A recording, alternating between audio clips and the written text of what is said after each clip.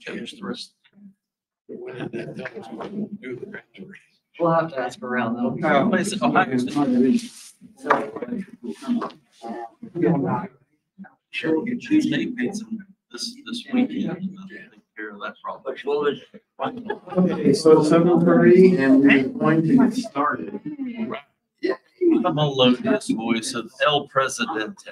El Presidente. Don't shoot. All right, That would be so, the um, coup and I don't want to go. yes. You did- you did not mean. Okay, anyway, so, um, welcome to the November meeting of Johnson Space and Astronomical Society. It's great to see all of you here tonight. And, uh, I'm Doug Holland. And we have a really good, um, meeting tonight, I think. We have a lot of really interesting speakers and presentations. We're gonna give away some telescopes for free over here, and then we're gonna go out eat. So on our agenda tonight, um, Mark DeChellis up there is going to be our main speaker. He's gonna tell us all about Skylab. And Ron's gonna say a few words about the DVD library. And I'm going to then explain how our telescope giveaway is going to work, or explain it to a few of you, explain it to everybody. And after our break, um, I'm going to show you some celestial images that we're taking at the um, Okie-Tex Star Party and the El Dorado Star Parties. And then Dan, which I'm, Dan here? Maybe we'll go for him to do his presentation. Okay, well, Dan was going to tell us about the eclipse at, uh, happening at JSC. Trevor's got a couple, he's got an eclipse, um, presentation, and he also has one on about Frankens. So that'd be fun. And then Paul Haley is going to tell us about goings on in Arizona. I'm going to give you an, an update on my radio astronomy efforts. And Dave is going to tell us all about what's going on in Star Parade News. We've had an incredible amount of events for the last couple of months. Uh, I think more than we've ever had since, at least since I've been here, so it's going to be very interesting. And We'll do our telescope giveaway and giveaway and head out to Mod Pizza. And That's all in order. Okay, so if you would like to, um, get, uh, on our mailing list, there's a couple ways you can do it. We have two different mailing lists.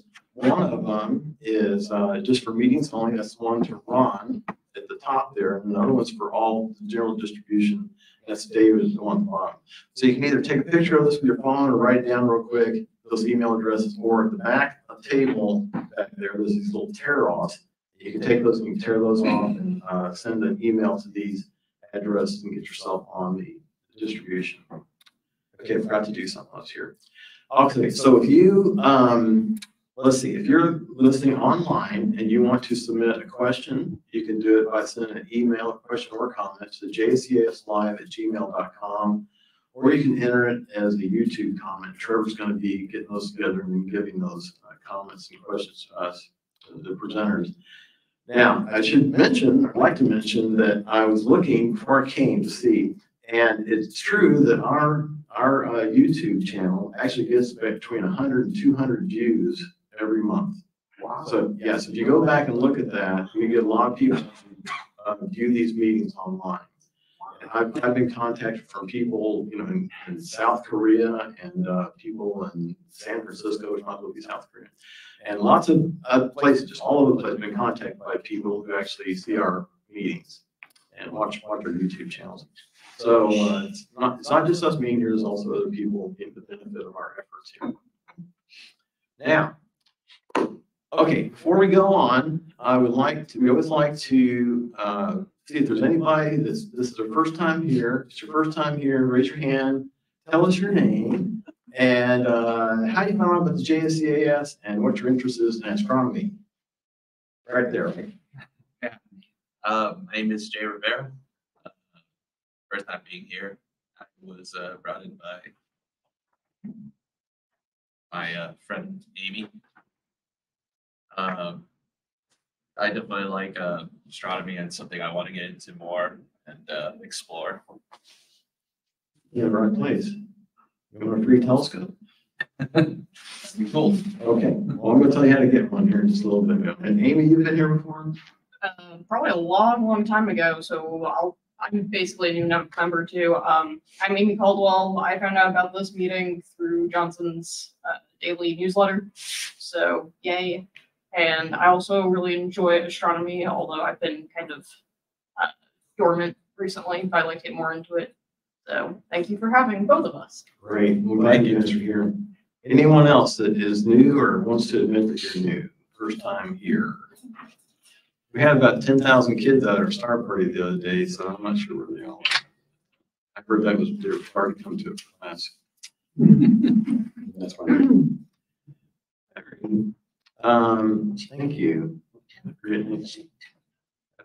Okay, so if you're a presenter, please remember to use the mouse pointer here so our hundreds of online uh, participants can see what you're pointing at. Okay, don't use a laser pointer, use the mouse laser. Pointer. All right, so Mark Chalice is going to be our main speaker. And you guys may remember in the past, we had lots of lights on in here. We couldn't see the screen. Now all fixed. There's no lights. It's beautiful. So the problem is now I can't see anything because, oh, good, Mark's first, Mark's first slide is very bright. Now, So I want to tell you, Mark, what? So should I try to turn on bring a light at the back? Oh, no. Mark's screen, Mark's slide is so bright I can read this perfectly. Mark in the dark. Mark in the dark. Okay, so Mark has been around here for a long time. He's been, um, a member of JSCAS a lot longer than I have, so I'm wondering why I'm the president here. But, uh, and that's wife Susan right there. Susan, they've both been around here since the early nineties, I think. That's pretty good. He's got flip shirt on there. He's a spaceflight enthusiast since he watches the endeavors of the nineteen sixties. A lot of us.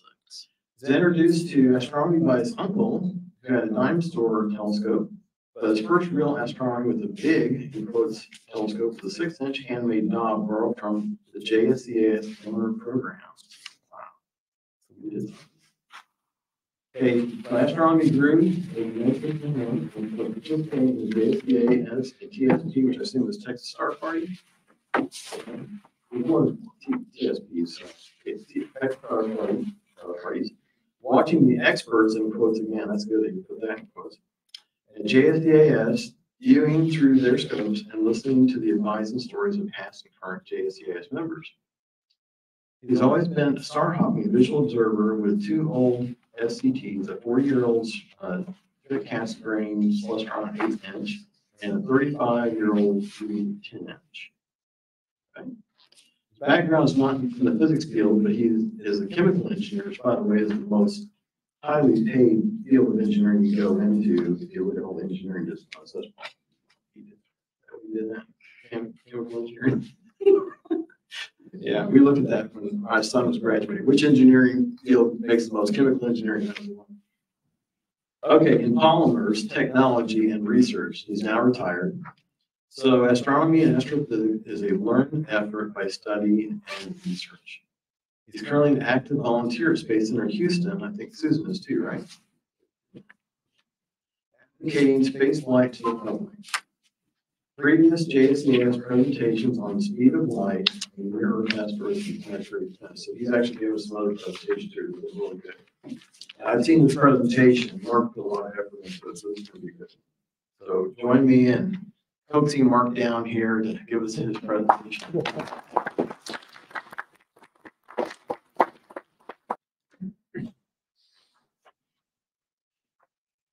Thanks. Um, so yeah, so you're, this, this topic, Skylab and the sun.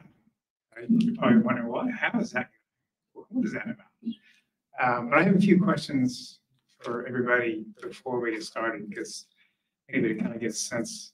How many of y'all do solar astronomy? How many of y'all like to really study the sun as one of your kind of main things? Thank you. Um, how many of y'all are familiar with Skylab? Everybody's familiar? How, how many of y'all actually worked on Skylab or participated with it? There's, I think there's a few in our club that are here that are uh, some of the more experienced people. Um, and then, um, I guess as far as, um, doing stuff like this at the Space Center. Are, you- are any of y'all uh, volunteers at Space Center Houston? I work there. I think, yeah, he, yeah, he works there. Um, Okay, so the reason, yeah, so I want to just let you kind of get a sense, the reason I put this topic, this topic together is um, we do volunteer space in Houston. It's, it's a, it's a fun thing to do. Uh, when I got there, I sort of got connected to the Skylab. They have the, the Skylab trainer there on site. And um, so it became a real topic of interest.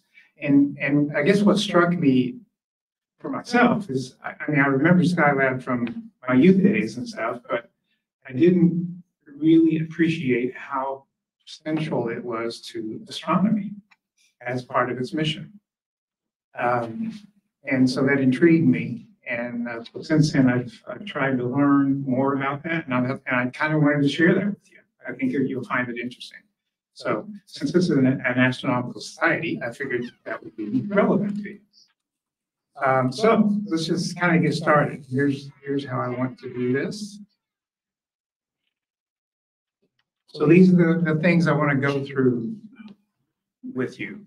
Um, we'll talk about Skylab and the ATM. The ATM is the, uh, the Apollo telescope mount. That is the solar observatory on Skylab. And in the picture, it's just the big thing on the side. Okay? Um, but I guess to get, kind of get going, I wanted to talk about, a little bit about how uh, observing the sun was happening um, prior to the sixties and seventies when Skylab went up. Because I, I began to wonder how, wh- why Skylab? Why the ATM on Skylab? What, what really led to that, that partnership? And then in order to do that, um, we kind of have to explore the sun a little bit. So I've mixed all this together and we'll, um, we'll, we'll go through some stuff. But first, a, a little reminder. Some of you are, are experts on this kind of stuff, um, and some, and some of you may have only had a little bit of connection, but let's talk about the electromagnetic spectrum real quick, just kind of lay the ground. And I, I'm going to use this picture from NASA uh, several times in this. I, I- I like the layout of it. Um, but this shows the different uh, wavelengths of light, um, either by frequency or wavelength, kind of what that relates to as far as size. Um, and then there's the overlay of what's transmissible and what's not through the atmosphere. Um, and it's pretty obvious what you can see there is there's a bunch of wavelengths that are just not transmissible through, through the atmosphere. So you have to go to space to see those, obviously. Um, and I just wanted to point out, because I was a little uh, unclear, but there, i- there is a way to convert these two scales from uh, wavelength and frequency, if you didn't know. Um, and it's just really a, a trans, translation through the speed of light. So you can, you can take any of these um, and translate it from frequency to, to, uh, to wavelength. And that's only important in that, as I was researching some of this and looking at some of the experiments done with the ATM and other telescopes, some are discussed in frequency, some are discussed in wavelength, some are discussed, discussed other ways. And unless you kind of translate between, it's hard to connect. So that's that. And I wanted to just reconnect us with, Uh, excuse me, in this picture, energy is also there? I cannot see that clearly. Is the energy mentioned there also? oh, what, sorry? Energy with wavelength? No, of- not in this one, Not in, not in this one. There will be Okay. in, in in another one. So moving on, um, this is just an, an- another overlay. It's a different chart, but the overlay on this is the temperature scale. And so this provides kind of a sense of the temperature of the object and where its primary EM spectrum is, is going to overlay. And so that's why, you know, our sun is a, is a six thousand degree sun, uh, surface temperature, and that's, you know, in the visible area, but there's a corona that's, you know, many millions of degrees. And that's, um, in the X-ray spectrum is, is where that's gonna be. So thi- this gives a good sense for how that, uh, how that temperature relates to that. Um, And then the next piece is, getting back to this photon energy, I think that's kind of your question, is, um, a lot of the telescopes that are in the X-ray and gamma ray are talked about in photon energy rather than wavelength. And There is a way to convert from these energies to a, um, to a KEV type, uh, uh, scale. So that's just another, and that's, that's Planck's law. Uh, that just kind of gives a sense to how you convert on all these different scales to the different, um, different energies. But You're welcome to go and study all that yourself. Uh, so now let's talk about this and how it relates to stars, because that's kind of where we're headed. Um, so stars, um, of course, they emit across, you know, across the spectrum. Um, if you go over to this table over here, you can see the different uh, wavelength uh, and types of radiation, the rough range of temperature that they, that they have. So visible, um, you know, is a thousand to ten thousand degrees. Um, and you can kind of see where these different types of, uh, of radiation are actually emitted from. Um, and then another piece is, a lot of times, reading in literature and stuff, a lot of things are referred to as black body radiation. Uh, an object reflects a black body type um, spectrum. And, um, and you can kind of see how that changes um, as far as frequency and, uh, and also as far as in- intensity, depending on the temperature of the objects. Uh, And then we can just kind of cover that up a little bit. And this relates back to our star. So I think at one time there was, we were going to be having a presentation on the HR diagram, give a little bit more about the stars. This is just a rough table on the different types. And our our star is type G. Um, and you can see the, the characteristics there. And a lot of this many of y'all know as far as star types. But I just wanted to kind of lay that groundwork out there so that we can all be on the same page for uh, how this is going to arrive. So the next piece, um, how do we study the sun? So I was trying to position, how do we, what was going on before the space age, basically? Because that's when Skylab kind of came into, into being. And, you know, this, this helps to me, for me. Uh, you know, for most years, for several hundred years, everything was done by telescope projection. Um, they would project it on a piece of paper and draw it. And, you know, there's, um, you know, even things from like Langley in eighteen seventy-three, it's a very detailed, but it's still do- doing things by drawing. Um, Spectroscopes came into, in, in, in the late eighteen hundreds, and they got connected to the telescopes. And that's the first time they started to have spec- spectroscopy through the scopes of uh, things like the sun. Uh, When you get into the, um, into the space age, the very first things were from sounding rockets that would go up and come back down. This is an interesting one from 46, where as the elevation increased on this rocket, you can see more of the ultraviolet transmitted through the atmosphere. So that's just this, you know, that, that gives that concept of how the atmosphere is blocking uh, some of the wavelengths. Mark, I got a question. Okay, so I've always wondered about this. I don't know if you know to answer this or not, but you know, if you ever watch a V two fly, Mhm. it's not, you know, it turns around, and it's doing all kinds of crazy things. How do they keep this thing pointing at the sun to be able to make a spectrum? I've never, you know what I mean? Yeah, and so the question was, h- how do they keep s- things stable enough to Yeah. do some reasonable Yeah, with a? V, with a V two. Yeah, um, when I, when I was reading and- and for this, that was a real restriction. I mean, they, they could only get, sometimes get just seconds of the data Okay. before they, they could, they wouldn't be on, on target.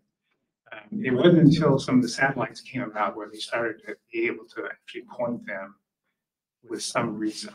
Oh, And that, and, and that accuracy just got better and better as time went on. Um, and, and of course, one thing is, uh, you know, the, the balloons came into being in the late fifties. Um, and that became another platform for doing a lot of observations, because those could stay at altitude for many, many, many many days or hours. So now let's talk about spacecraft.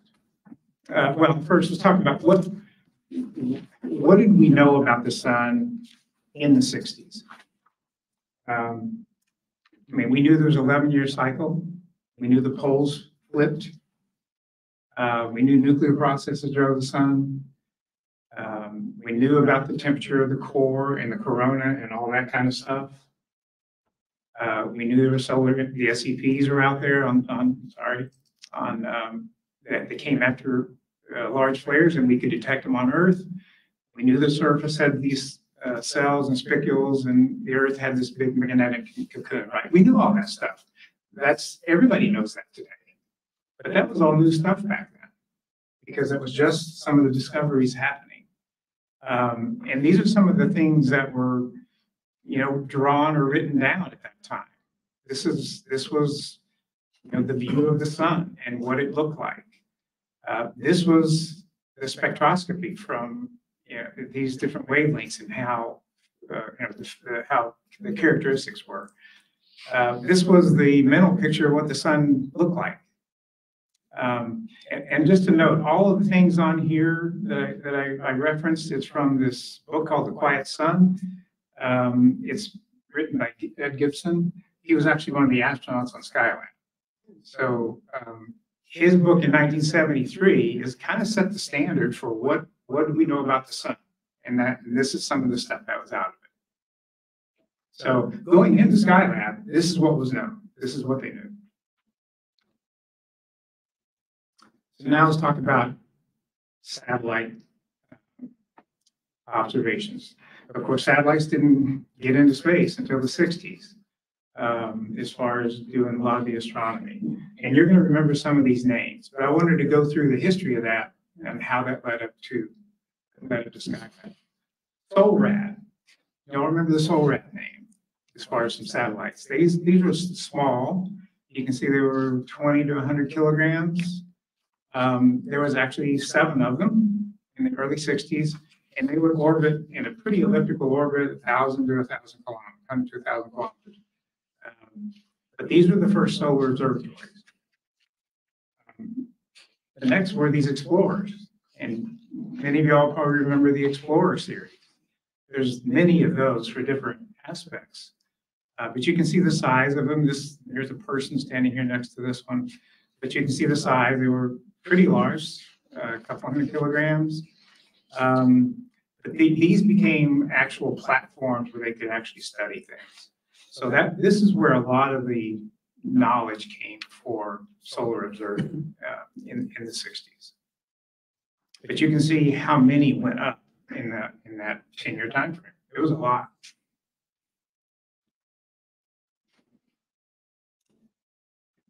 After those two programs, or with those two programs, the big solar observatory program was called OSO, Orbiting Solar Observatories.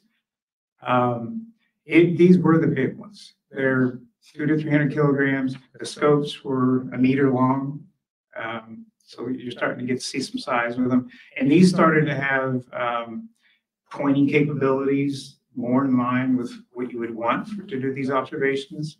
You can see here a table. It kind of gives a sense of all the different uh, types of experiments they were doing on them. Um, so you can tell, you know, with these, with this group of satellites, this was, uh, this was the, the set that really started to create the data for, for the solar observing. Um, Just wanted to point out that there was another one called the Advanced OSO. It was going to be a big one, greater than 600 kilograms. Uh, It was going to be uncrewed. It was going to go into orbit. Um, So this was going to follow on to these. It got canceled in 1965. Okay, but what's interesting about this, um, a side story in this whole time frame is this is one of the things that kind of, kind of came across, is in sixty-two, kind of a random thing, the US conducted this Starfish Prime nuclear test at four hundred kilometers, basically in space. And, uh, the electromagnetic pulse from that, it, it wasted the OSO one solar cells. Plus a bunch of other satellites that were in orbit. It's just one of those things that's going on at that time, you know, and, um, so it's just kind of a curious tie to, to what's going on in, in the sixties.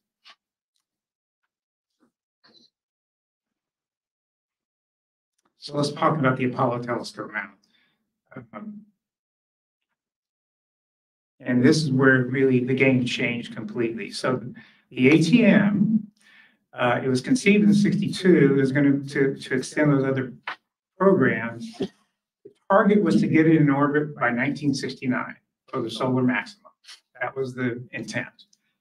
But it had large telescopes, full wavelengths. It, it had temperature control of its thing. You can kind of, you can look at the table for all the different, uh, wavelengths it was gonna look at and, and specs. But over here and here, you can see, this is the size of it. I mean, it's, it's large. You can see the weight. It's basically twelve tons. Uh, very large telescope, um, eleven feet in diameter, fourteen feet high. Um, This is just a very large scope. And you, now we've seen the pictures of Skylab and you see how big that piece of equipment is sticking off the side. But this, this is what this is what came to be. Now, what's interesting about this is it was originally planned as a uh, standalone orbiting observatory. And this is how it was going to be. Um, We were going to have the ATM here. They were going to attach a LM to it, a lunar lander. And the lunar lander was going to be the crew quarters whenever the crew, crews came up to visit it. Because keep in mind, this is, this is being built in the sixties. Um, most of the observations got recorded to film. So crews were gonna have to go up periodically and retrieve the film. So that they could bring that back to Earth and download it and, and, and observe. So that was the initial uh, plan for the ATM. Which is kind of curious. But let's go on and look a little bit more at the, so now you see how big this thing is, and this is just some pictures of, of, of it being built. Um, I mean, you can see the size of one of the instruments. When you, and you can see the size of this. When you look down on the top of it, this is how all the seven telescopes were mounted inside. So they had all their own little cavity. But most of these were, you know, several, many feet long. There's actually a restored ATM at the Smithsonian. So if you ever go up there, you can see what, what it would have looked like. And just another thing on the side that I found is, as I was researching all this, you know, with the Apollo applications at that time, this picture was a nineteen sixty-seven contact, con, uh, concept of an orbiting telescope. And when you look at that, it's like, this is like, this is the Hubble and the space shuttle, right? I mean, I mean, in sixty-seven, it, it already looked like that. It's just, it's kind of remarkable. some- of the, some, some, some of the things that were going on. Uh, so let's talk again about the objectives. So remember, we went through the whole series of, um, Explorer satellites, the OSOs, all that stuff. One thing that's hard to get a sense is what, what was it actually, what were those actually observing? So I put on here a, um, just a layout on what wavelengths those, all those were observing, and, and this is, this is what it was. So you can kind of see all those different, um, uh, satellites and what wavelength sections they were observing of the sun. And it's, it's all over the place, but there, there's a lot of overlap on every one of them. But this kind of gives a sense to, to where they were. And then here, this was the ATM on Skylab. And it was uh, mostly here, not in the gamma and X-ray, uh, the high X-ray range. Okay, and that's just a quick visual of, of where those were. So now let's talk about Skylab. And how it evolved as a platform for the ATM. Because it's, it's kind of an interesting story. If, if y'all are, if you like the Apollo days and stuff like that, um, Apollo was actually an orbiting lab concept in sixty-one.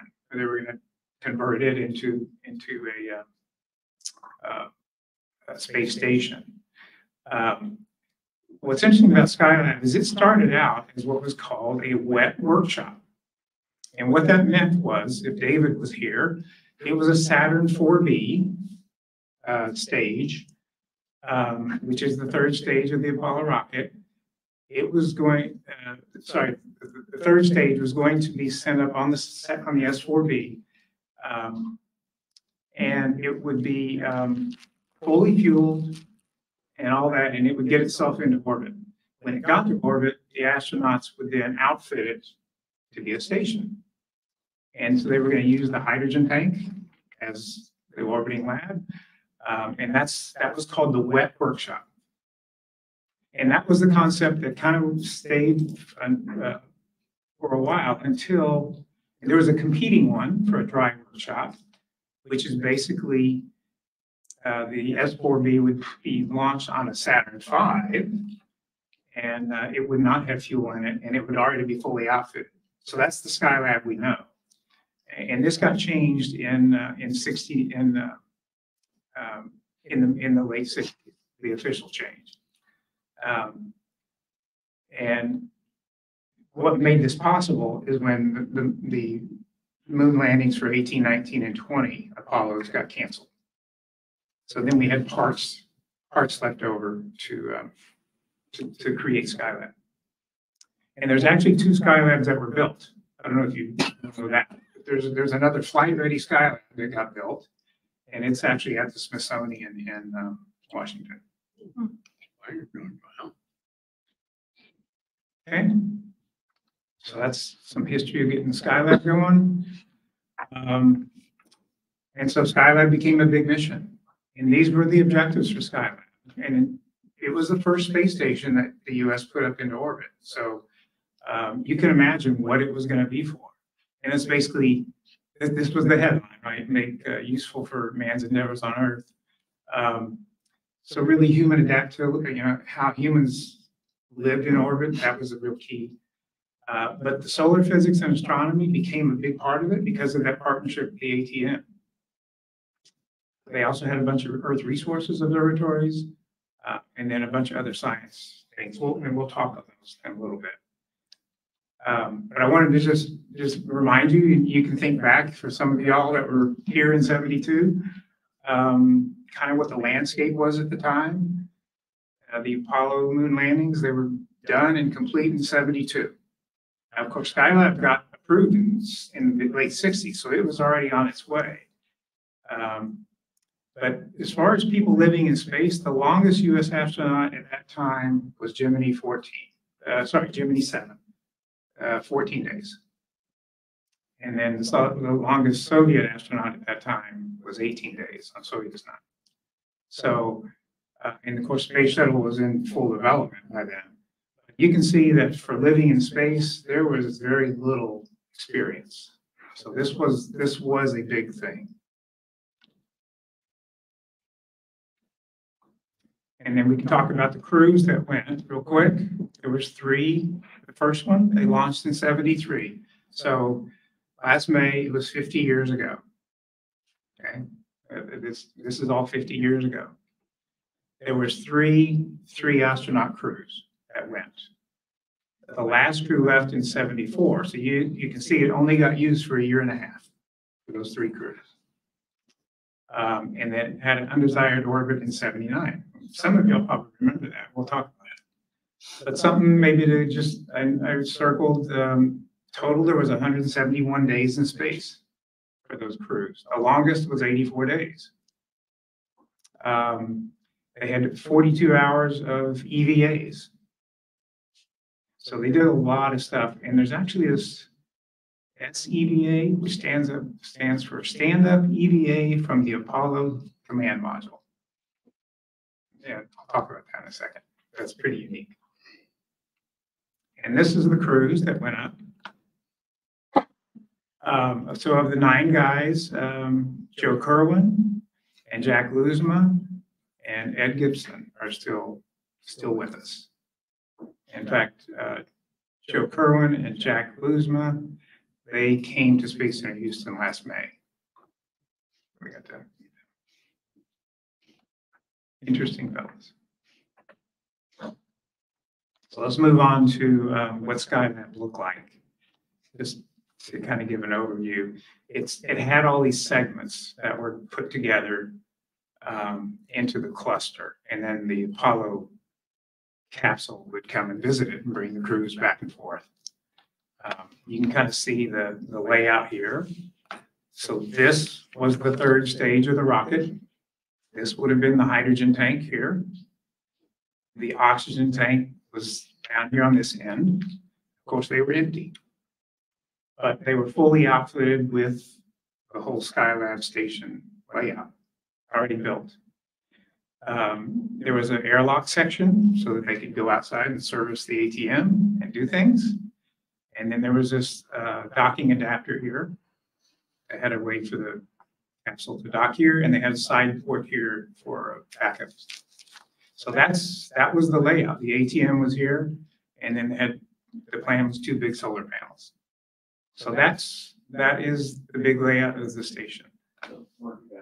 Mhm. So Question? ATM, are you saying that they gathered the, uh, the film from within the airlock?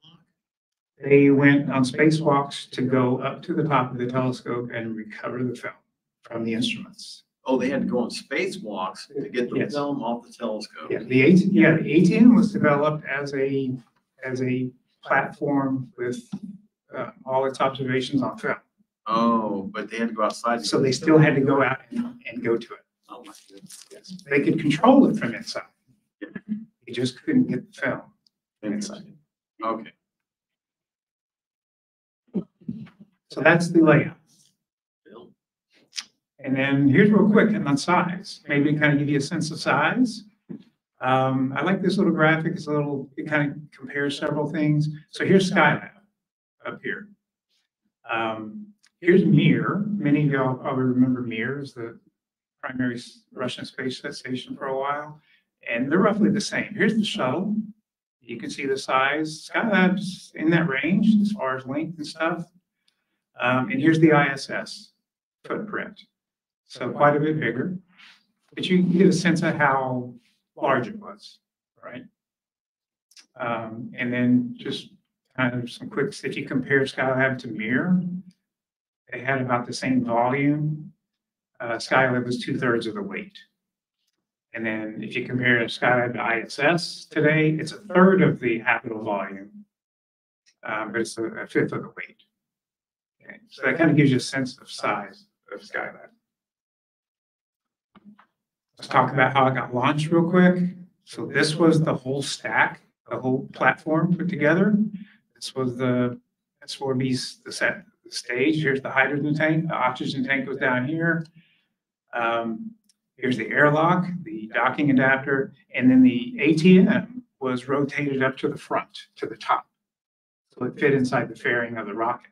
So you can see this whole piece here um, laid out top of the Saturn V.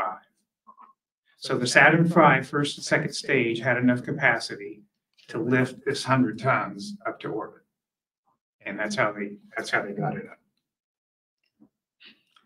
Um, Skylab's orbit, it was solar dominant, meaning it pointed at the sun almost all the time. And there was some changes when they, when they did Earth, Earth uh, observations. Um, but another thing, just to appreciate a Skylab for, just to get a concept of the whole mission, is it was a real logistics issue.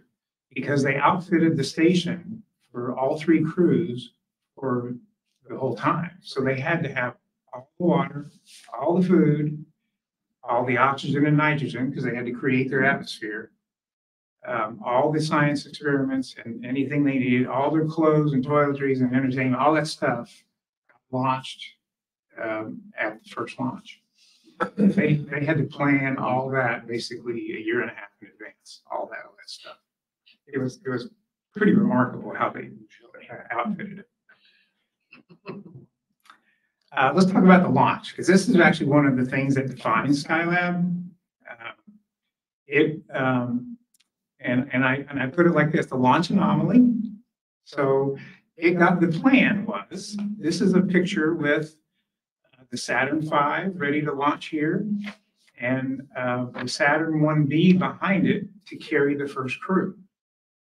The plan was launch the Saturn V, get it into orbit, get Skylab up and going, and the crew launches the next day. And goes and visits it and starts doing their thing. Um, sixty-three seconds into launch. A meteor, meteoroid shield, sun shield that they had around the, the main part of Skylab, uh, managed to come loose. And it decided to not stay with the rocket anymore.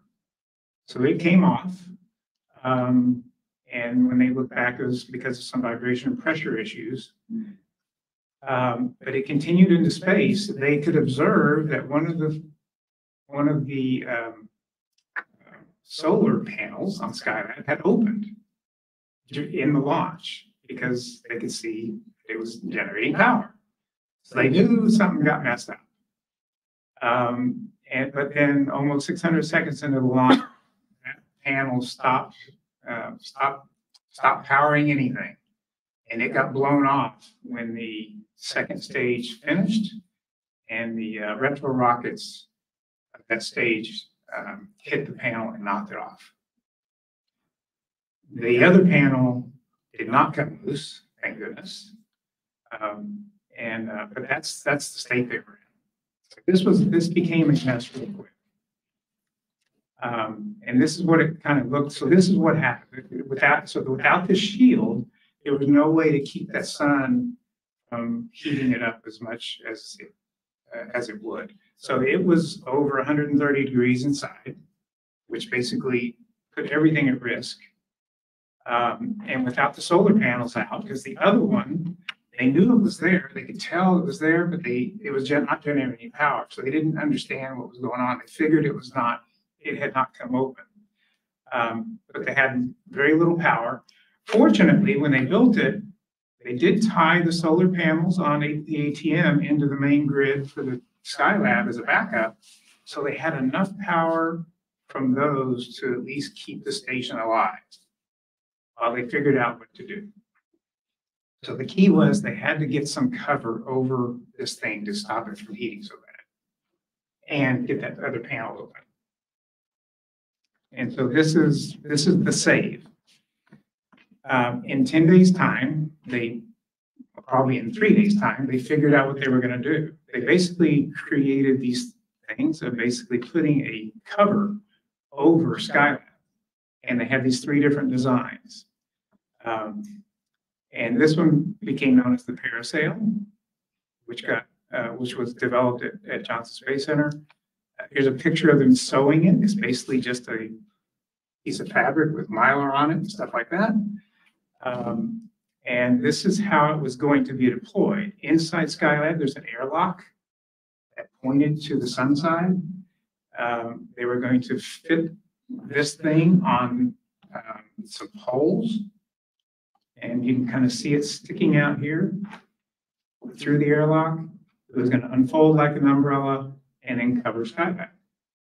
So that's what they flew up to Skylab on that first mission. And, um, and they- that's what they did. It worked. At the same time, they took up uh, basically electrical line cutters because they weren't quite sure what they were gonna try and do. And they, uh, they were able to free the solar panel about ten days into the mission. So, um, this was a very unique thing to, to happen. It was, um, the guy who developed it actually went to the hardware store and got a bunch of fishing poles and he figured out how to make it all work before they actually flew it up. So it was pretty unique. So this, now, we had an operating station. And you can see the picture here. This is the first crew when they left. You can see that parasail, parasol sticking out the side. There's the one solar panel, not two. Um, but on, after the second mission, they actually installed another one over the top of that because that one was degrading. So that's why when you look at pictures of Skylab, they can look different because they actually have two covers over that part of the Skylab. And then here in this picture, you can see the ATM and all the scopes at the top of it. So that was Skylab being ready for service. So a few things maybe about what it looks like on the inside. Some of these pictures are from Space Center Houston and some are from orbit. Um, This is the main area where the hydrogen tank is, and you can see it's 22 feet in diameter, very large, big space, just a big dome. This is looking, if you were standing in this um, airlock here, you could look back and this is what it would look like in orbit. Um, This is one of the astronaut Garriott sitting at the ATM console in the, in the uh, docking adapter. Uh, This was their toilet. This was their eating place, first toilet that was on, uh, in space. And then here was um, a look at one of the trainers and how it was laid out. So it kind of gives you a sense on how, how they, what their, what their living arrangements were. And then I thought we would quickly go through, um, maybe kind of, you know, what, what they were doing and what, and how they were scheduling their time. Of course, you know, you see a lot of things of people in space and they had a bicycle that they rode. They, this was their sleeping arrangement. They had some tie downs. Of course, they had to do a lot of maintenance and stuff. But this was one of their daily schedules. And I, and I circled on there how much time they, they were spending operating the ATM. So you can see from this much time in one day, how much, how much effort they put into doing solar astronomy. It was, uh, it was, it was pretty important to, for the mission. And that's really what I wanted you to kind of get from that. Some more pictures of them, um, some of the astronauts when they were up, of course, regular living stuff. Uh, there is, they did have a shower on the, uh, on Skylab. Um, they could only use five or six pints of water, um, not a whole lot. Um, and it was taking them one to two hours to shower. So they, they, they, over time, they just didn't use it very much. And it kind of informed future missions. Uh, and that's why, you know, on the space station today, they, don't have showers because it's, it, it's just, they, learned it was just too difficult, too much time. So that's just some pictures of them. Uh, they did a lot of work on understanding the body. See some pictures here of stuff they did. Um, you can look at some of these experiments they did, bone mineral stuff, red blood cell stuff. Uh, there was one uh, medical doctor that flew on the first mission, so kind of he kind of led that all out. But you can you can see um, you you can tell from their schedules and from things that they did that they did they spent a lot of time on medical stuff. Um, other science stuff, they had 13 other science experiments, 26 in the technology re- realm, uh, six Earth resources ones.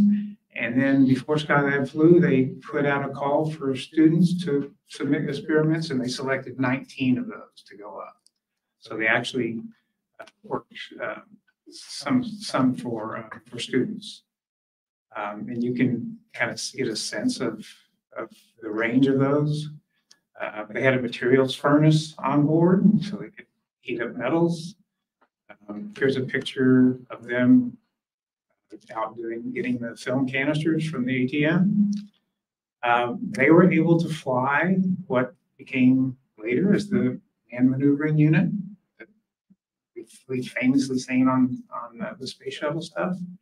Uh, but they flew one inside the sky. Uh, so that was uh, a big program for them. And then uh, this is just one showing uh, their, their uh, doing one of the student experiments. This, this one actually was about uh, the spider, they took some spiders up to build webs. So that kind of gives you a sense of, of that, right, that realm. I thought I would throw in stuff about food, because everybody talks about, everybody wants to know about food astronauts and stuff. They, um, this is their menu. You can, you can see it's pretty good menu, quite varied. Um, they did have a refrigerator and a freezer on board, so they could, they could bring up a lot of stuff. Uh, their daily menus, menus are scheduled, so they knew on day twenty-eight for meal two what they were gonna eat. They already knew. Um, they ate about three thousand calories a day. You know, a lot of food sent up initially. Uh, all the water had to go, and, but this is how much water they had, and it averaged out to about a gallon and a half per person per day. Not a lot.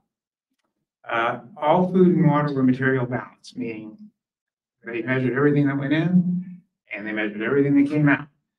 So, um, that was part of their whole medical stuff. They, you can see, this is them in, uh, in the trainer showing their eating table. they. Uh, most of their food was in these tin cans, like tuna cans. Um, and then they could put them in these slots and heat them or cool them or whatever they wanted. It was, a- it was a unique thing for food for them. And then a few side stories about them. Um, uh, because uh, Skylab was pretty unique, uh, they actually had to plan for a rescue.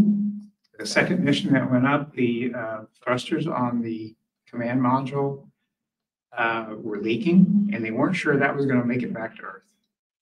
So they quickly, and we're talking pretty quick, they created a five-seat command module um, so that they could send that up with two guys and retrieve the three and bring them all back. So this is a pretty unique thing. They actually built one. They had it put on a rocket and it stood by for the, for that time of the mission. But the one that they built is now at uh, KSC. If you ever want to see the five-seater, it's, it's the only one, only one there. Um, This was interesting. They put in this fireman's pole. Um, they were worried before they flew because, you know, people get in space and you don't have any motive force moving you around. That they would get in the middle of this big dome and get stuck. And they couldn't get themselves out of this big space. So they put this big pole in there across the middle, um, just in case. So on the first mission, they had that, but they found over time they didn't, they didn't need that. But that's the kind of worries that they had with something like this. Uh, trash, um, that was a big thing. They generate a lot of trash. You gotta do something with trash in space. It's a, it's a, it's an, it's a hassle, right? Um, they use the oxygen tank. Remember, they had the empty oxygen tank. They used that as a trash tank. So they had an airlock that they could dump their trash in all these bags and then put it in the airlock and cram it in the oxygen tank. So that became the trash tank. And then when it, when it re, re-entered it, uh, or all burned up. They did get worried sometimes. They got stuck once and they were really sweating out what they were gonna do with all the trash if they couldn't use it. So it's things like that they had to deal with. And then um, they've also worked on, uh, had to figure out how to work in space. Um, and they did, they had a lot of forethought into this. So they actually did, put, built these shoes. And the main thing was these triangular, triangular clips that fit on the bottom. And they would, they could latch those into the floors so that they could stay stable wherever they wanted to be. And, you know, you don't, when you, when you look at Skylab, you don't really notice, but once you know that that's what that was for, there, I mean, there's triangles everywhere. And that was, that was one of the ways they could, uh. And then I wanted to touch on the deorbit because it's, it's a, it was a big thing back then. Um, it was launched in seventy-three. The predictions were it was gonna, it would last basically until the shuttle got to it. And they were gonna use the shuttle and boost it up and use, that was the plan. But um, in the late uh, seventies, the orbit decayed, de- de- decayed a lot quicker than planned. Um, You can kind of see the track here and you can tell when the, it, it changed. And what changed was the solar um, activity in the solar maximum was worse than they expected. you know, expanded the atmosphere and it caused it to, uh, to deorbit quicker. They tried a lot of stuff to- to extend it, but uh, in the end, it came down. Um, It ended up coming down basically over southwest Australia, most of it in the ocean on that orbit, but some of it over Australia. Um, It was a big thing back then. Um, It was, some of y'all may remember, but it was a big thing. Um, And and one of the reasons it was such a big thing is the year before, the Soviets had a satellite come down across Canada unplanned. But the thing about that one is it had a nuclear thermal generator on it. So they spread nuclear material across Canada. So everybody thought Skylab probably had the same. So there was this huge fear about it. And it got played up in the press and stuff, but it was a big thing. Of course, you know, having a hundred tons come down, you- probably do want to worry about that. But, um, so some pieces ended up in Australia. There's actually a museum down there if you want to go visit it. Uh, But they did fine NASA two hundred bucks for, for litter.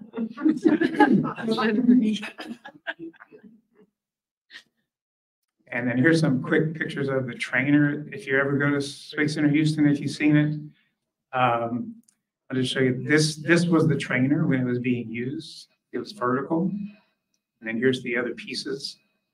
Uh, but when you go to see it today, it's horizontal. You can see the ATM on the side.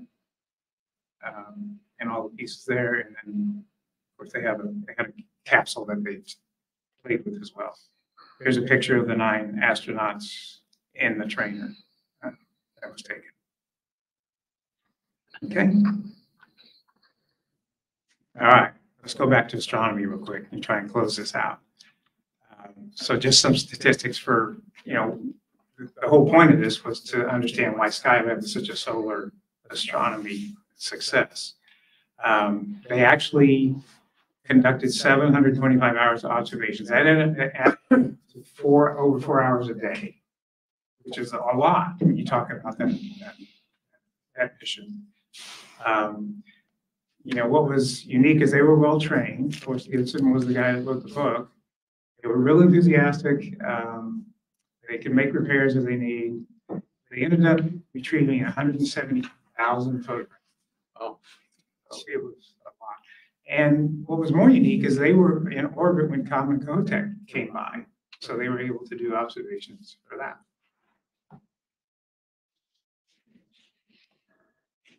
Um, Here's some of the data that they, that they were able to, to, to get. Um, You know, they were, because with the astronauts on board, they were able to track things and get things in sequences. Uh, they vastly improved the spectral data that they had at the time. Uh, they could catch real-time events. This became a real famous flare because of the size of it at the time. Um, they could track these coronal discharges over time. And then they could do things like, you know, take photography over many orbits and then you know, stack them all together. So because they were able to be there with the scopes, um, they were able to do a lot, a lot more science than initially planned. And some of the discoveries, real quick, that, that, from that, they, you can go and, uh, look, look more into these if you want, but polar balding zones apparently is a thing. Um, and it's, they apparently happen at the poles. Um, and, uh, it, they mostly show up in the UV spank, but these are, these are coronal holes, uh, that, that, uh, release the magnetic field.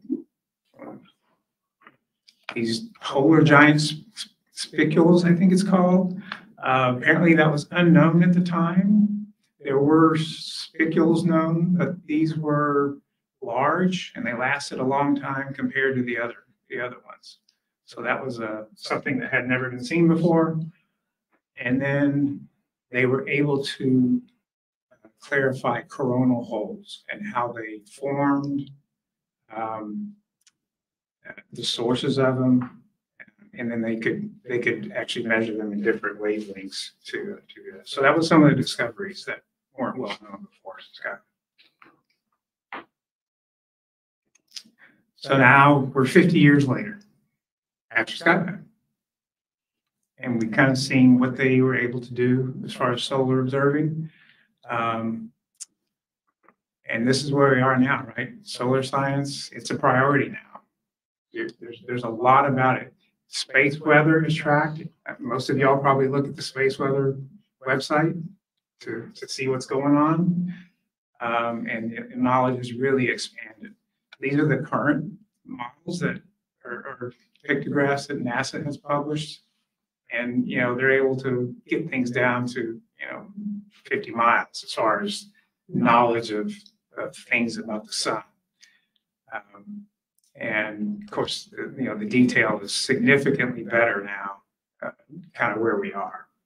But, you know, this is all, all the stuff that's, that's now uh, just come clearer for us. And then I wanted to put on here, because I was trying to, you know, tie this back to, you know, satellites in space and, and what's observing the sun. So these are all the ones that are the heliophysics missions, basically observing the sun. Uh, These are broken down into uh, primary operations, which I call two of them, which are the solar orbiter and the Parker Solar Probe. Some of you all probably followed those. Uh, But there's all these that got launched before that have been extended. Because many of them got launched even back in the, into the nineties and they're still operating. So that's this whole list here. And then all the ones in yellow are the ones that are coming. So this is an incredible visual to me on how much has been done, how much is being done, and how much is coming as far as solar heliophysics and, and the observations. And this is across uh, NASA and ESA and JAXA. But I was pretty impressed by being able to understand that. And then back to this, the places where those, those current satellites are operating are in these regions. The last one to go up was this GOES-R as far as the, um, it's actually one of the National Weather Service satellites. Um, So that's that one. Uh, What I found interesting is this one, the wind, which is in, in the nineties, it actually is looking in the, uh, radio, the radio range area. They have, um, some detectors that way out on booms on this thing that's going through space so they can get the, get the resolution. But, but again, you can kind of see some of these are very targeted, some of them are quite broad. Uh, Again, it gives you a sense on, um, on what's being studied. And then this is just, if, if you were to go to all these observatories and look, this is what you can get now, today, daily, hourly. Most of these are updated hourly. Um, so, you know, all these different wavelengths and, and what the sun looks like, you can go and find these at each of these websites for, um, for all these. Uh, One that just recently started up is this Inouye Solar Telescope on Maui. And it's got incredible resolution of the, of the surface of the sun. Um, And then uh, they also have all these energetic particles and solar wind data, all that stuff. So this is, when you go to the space weather websites, this is the kind of stuff that's available to you. And then I just kind of wanted to finish with a few things. I, I just, I'm just intrigued at how things like this have progressed. You look at the spectroscopy of these Fraunhofer lines. um, and you can see, you know, where it was back in the thirties and forties. And then how it got so much better with Skylab as far as the, the distinction. And then you look at what can be done today. Um, It's just, you can just really see the progression of, of technology through time. And then um, we can finish out this. There's a, this was an interesting um, video that they had on this solar tornado that's happening. There's a lot of debate about whether that's really a tornado or if it's just, an- just looks that way. It's, it's pretty, pretty curious. Mhm, looks like it's spinning. And then, um, this is a seventy-two hour sequence of, uh, of the sun in UV. But it's, um, and then, of course, these other ones are just, uh, other things that have- have been, that I thought were quite interesting that have been done. And I think that's about it. So I hope, um, I hope we, I hope I kind of took you through a little journey of solar astronomy, where it was, how Skylab changed it, where it is today. um, And, and how, you know, how that contribution was important in the seventies. And then there's a, if you ever, if you want to look, there's a bunch of references here, if you're, if you want to go back. Okay? So, That's all I have.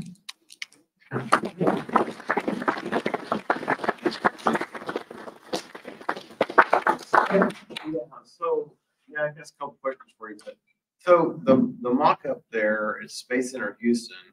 How accurate is the ATM part of this, you know, compared to what it really looked like inside from the astronauts saw? So the, the scope there, since it was not primary science center for the ATM, the scope is, is true size, true layout. Um, it doesn't have any scopes in it. Right.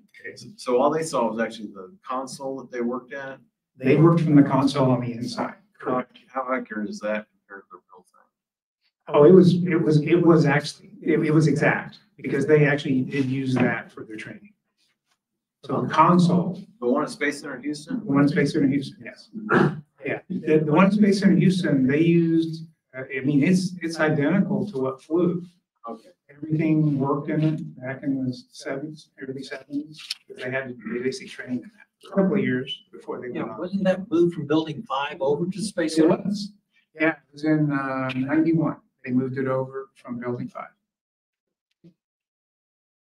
Yeah, and yeah, that's right. They, um, they moved it over to Space Center Houston, and Space Center Houston got built in ninety-two, I think it was, when it opened. They had to build a building around it because they didn't, so it's, it is not going anywhere. It's a, it's a really interesting display, and I, and I have to tell you, most people did not know about Sky. It's, it was very invisible between the, uh, between the moon landings and the space shuttle. It's, it's interesting. As you can see, it was, it was very important and quite advanced a lot of stuff.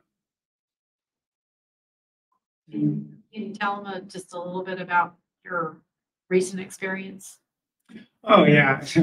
So, you know, that, uh, so that got brought over in ninety-one from building five.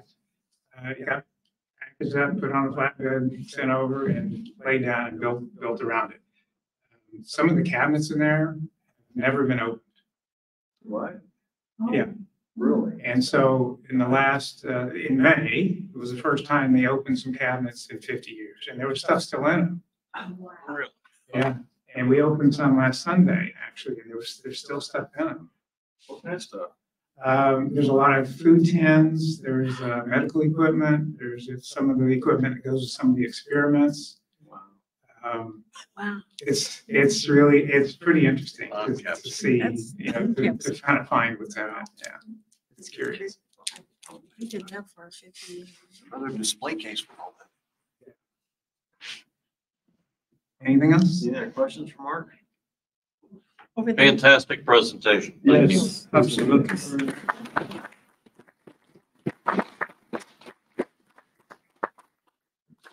Yeah, I got a second. What Jim said. That was, I, I can tell you put a lot of work in that. Mark. Really appreciate it. Okay, I assume that was Jim. Hmm? I assume that was Jim that said that. Is that you, Jim? That's what now? Is that you? About what? Your comment at the end. Yeah, yeah, it's fine. So here's all of Mark's extra information. Okay, all right, so next, uh, I'd like to invite Ron to tell us a little bit about the DVD library. I think give you some light there. It's right there in the back. There's two hundred DVDs there that have been donated Uh, the vast majority, eighty percent of them are from Astronomy Magazine. It's got a legend on top, so you'll know if it's Discovery, PBS, or Astronomy Magazine. They're generally about forty-five minutes long. There's also the, uh, the, uh, the, uh, The great the courses. great courses. And we have, a we have several of those that have been And they're donated. excellent. But those are over ten hours long, so be aware of that. But the others are about forty-five minutes. So you're more than welcome to take as many as you want out. It's bringing back. But anyway, thank you.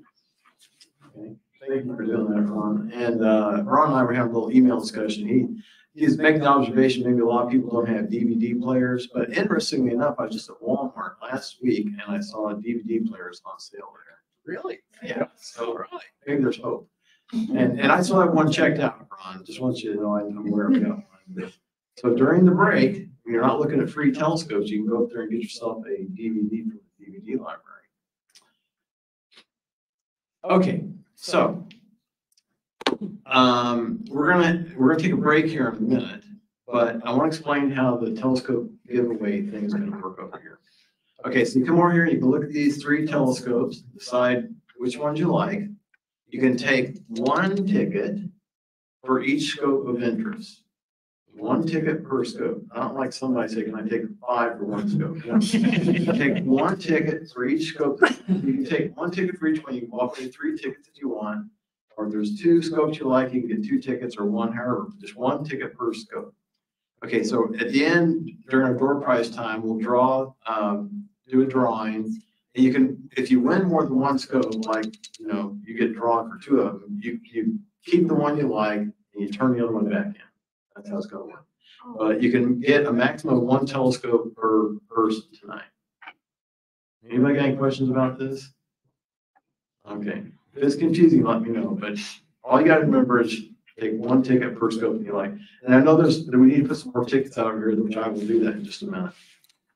But, uh, so now the meeting after the meeting, after we get done here, we're gonna go up to Mod Pizza. You zoom up Millbrook, take a left on City Boulevard, right in front HEB, there's Mod Pizza. We'll Get together there and talk about astronomy and other astronomy related topics. All righty, so we are going to take a break where you can go get yourself a DVD from the DVD library. You come down here and select a telescope you would like to take home with you tonight. And somebody asked me, are they free? There's no charge for the tickets, there's no charge for the telescope. These were donated by the family of Robert Trevino, who was a former uh, JSCAS uh, member and uh, Johnson Space Center engineer. So his family donated some telescopes to us, their wish was that our membership could um, get some use out of these telescopes. So that's, that's how we got them. All right, let's take a break and probably ten minutes and we'll get back together. Somebody mind hitting the lights over there? The-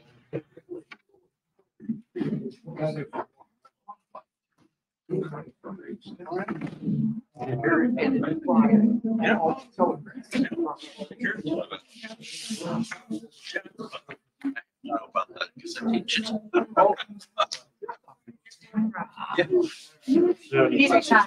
about that because I teach it. Very tedious job. That's what I put the fear of, uh, solar storms into my challenge with. Twenty-nine fifty, even older and cheaper than that, so you're very limited in the quality, right? With a four inch scope.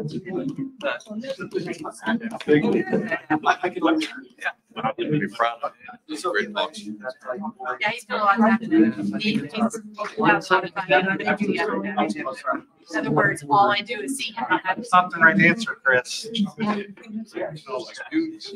That's what happens when you buy him a nice big new wide screen. Because I can't see, not really, I can't see very much, so it'd be very disinteresting instead of more interesting.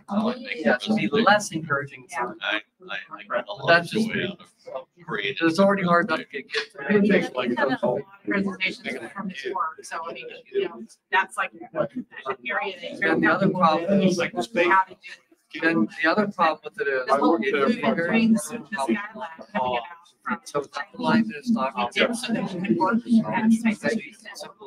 And, so, I mean, I haven't been as available for my reasons, um, but I've done a little bit. Like I said, no, you have no idea. what you're talking about. I have no to go make a mirror.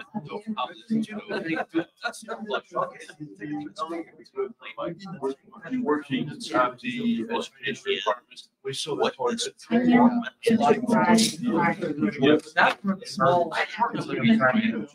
it? Right, right. That's for the small. Right, right, which is one of the reasons why they're trying to get the volunteer base and they have like a content specialist kind of. thing. You actually, they want you to train to make sure that you're doing the right, you know, it's not just you. Yeah, right, right, and, and it it really does help. The other problem. The problem with Skylab, it's really cool that they turn it on its side. so you Well, I can thought about do it for my niece. The problem is that there's not, not so very much room there, and there are some days when the community Embarrassed. is just. So people are learning, kids, you know, school kids go running through it, you know, um, and it's really So hard to be. I don't even Fine. see it. I think. And pointing out things to people when there's. that. If it's not, if it's a light day, you can, you can do never that. been this, never before one of. For enough Yeah. to. Well, yeah, come on a date. I told you this friend of mine, They and I are, said, next summer, they're, and they, and they're a lot of fun too, but it it does change the dynamic, so, like, he's found out, he's he's found out, he's unwilling to like. figure out how to line things. He'll go in, stand in there when it's a light day. It's not that hard. He comes out and When I read, when I read, it doesn't, even- you don't even have to tell it what star you're on. out, the a- bright star. About Because like I said, And they're starting be from. close enough to starting from triangulate, figure out what star They don't, probably. they don't know Do the alignment for it. know, so, I mean, you're just talking, like, do you even know what you're walking in? No, I have no idea. And he said he This couldn't is do it. basically America's first space station. you Yeah, I mean, every and, stuff uh, with like rock, plus house, rock.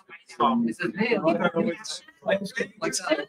And But they don't know a lot of stuff. But it's like- It's, it's fun trying to find. He's starting to work on the training for the, they call it Starship Gallery, which is the Gemini and Mercury college sector. So it's like the whole string of different. I just, I just put together, I to- brought it engage meetings people in ago, that area. uh, five. And people minutes go out and back. rocket park all the time. There's some people are super knowledgeable on that. Did it on But even that, it's like, oh my gosh, it's so big. You have to have fun. My, my favorite thing though is when families come in, they're like, they got little kids and like, oh, should, should we? Well, I mean, It's really impressive, you know, have a little kid walk around that. Probably closer to six. Sit, you know, it's fun, or, or, or you can shovel and do that, you know. It was just, oh, Yeah, yeah, that's, that's fun too, and like, the kids love it, because they're, they're like, oh, you can go inside, and you absolutely. You know, probably- Can you go in the- the trailer? you know, probably not. Yes, yes, actually, yeah. You walk around. Yeah, and then, uh, Six, I seven, mean, five. there's enough of it you see, you get a sense of the size. Uh, you know, the back doors kind of took because it was, it was at KSC originally, you know, for visitors to go and see. Um, I'm trying to think probably four lakes to sort of where you're locked down. But it's, the way it's kind of open, but it definitely gives you the sense of the size. Remember back You got, um, May, they have, yeah. That one, try to have that, the. It's got the actual adapter that launches the satellites and I stuff. started the It twelve. gives you, a- I mean, especially if people like, no background on it, it really gives a really good size. And then, uh, And then the door, it's almost like belly of the air. Oh, You can't have it. Both you guys are just. Yeah. There's some things that even they, I mean, there's definitely some, some needs there, but it's always a. If I took many tickets. Last time I was there, they didn't have independence there. So, um, they had, they were the nose cone of a show. Oh, oh sticking out, yes, And you yeah, go up there and walk, get into the cockpit. right. That, Hopefully, the one that's in independence is more fidelity. Those are the cases. yeah, I think it is. I do think it is. It's been I'm not touching it like that. No, you can't touch it, but you, but you can look down on what the cockpit looked on. It is, I think, I do think it's more, I- it's been a long time since that was code was there, so don't really quite remember. No, it's gone now. Yeah, they, because now they have a, a, uh, a model of the, basically part of this. uh, Really? It's not my dad. It's, it's big, it's on display. He was, you can. I'm trying to bring this up for this. Because they Total score. putting. Are you asking about that or- So, I ended up with this book. I don't think he must have gone to the- It seems like it would have gone to I some. still love that book. Museum or Now, the mounts that are doing. But once they had the images, they Uh, did Still use it. Use my guys. They're working on a lot of stuff. There's always room for. It's long. It's something, like I like I said, it comes down to Yeah, I have money, to like, buy you know, these how much money is right. With you, it's It's easier to find. staff, so to Much harder. Find a- Yeah. So, but anyway, I mean, it, it's a memory. So in order to use this guide scope. I just want to reduce fraudulence. They used to have. The stores don't come out very bright. It doesn't have a very good shield. No. Because our everything and the lighting is not controlled. It's funny when you, We all you do enough And I'm not even talking about the IMAX, I'm talking about the other. Yeah, the little one. Time, it's like just awesome. They have, you know, Hardware. It's like- A lot of people have telescopes, they don't really know much about them. They do hardware and stuff, and that, but, you know.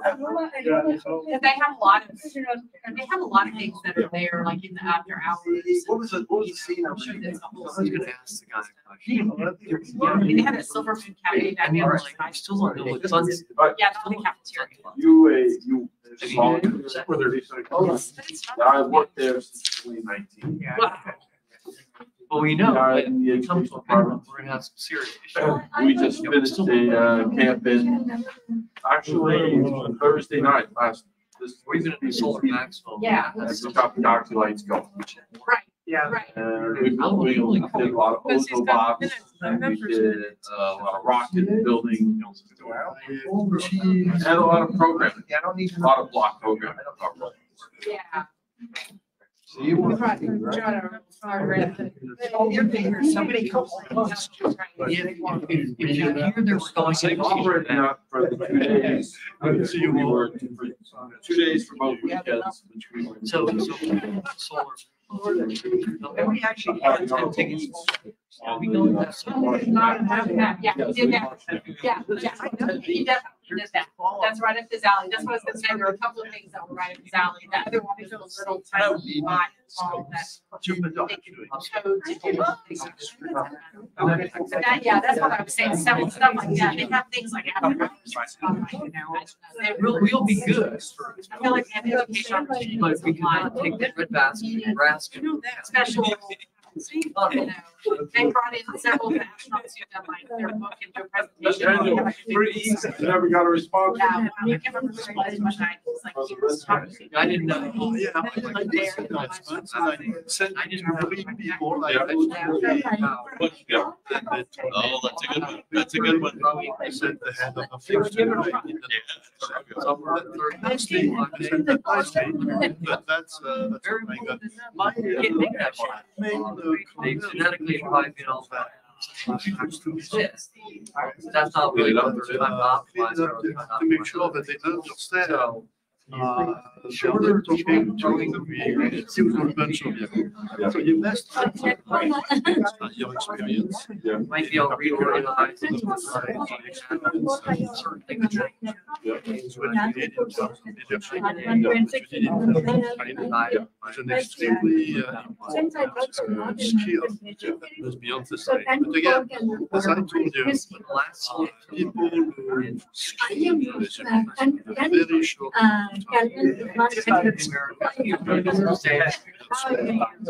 It's been a back. They're looking for. So, Yeah, I was wondering. That's my standard, that's my standard. Because I can certainly, uh, something like that. I don't think that. We don't really know entirely what the impact will be. I can do that because I, uh, I know that in the past. giving feedback. The, uh, thing. Maar dat is toch wel is. Who rose over? Waarschijnlijk maar wel, maar dit meneer is strong. I know it's have so my voice. I just cannot remember what the magic was. It's not that, it's a little short. Well, if you read over again.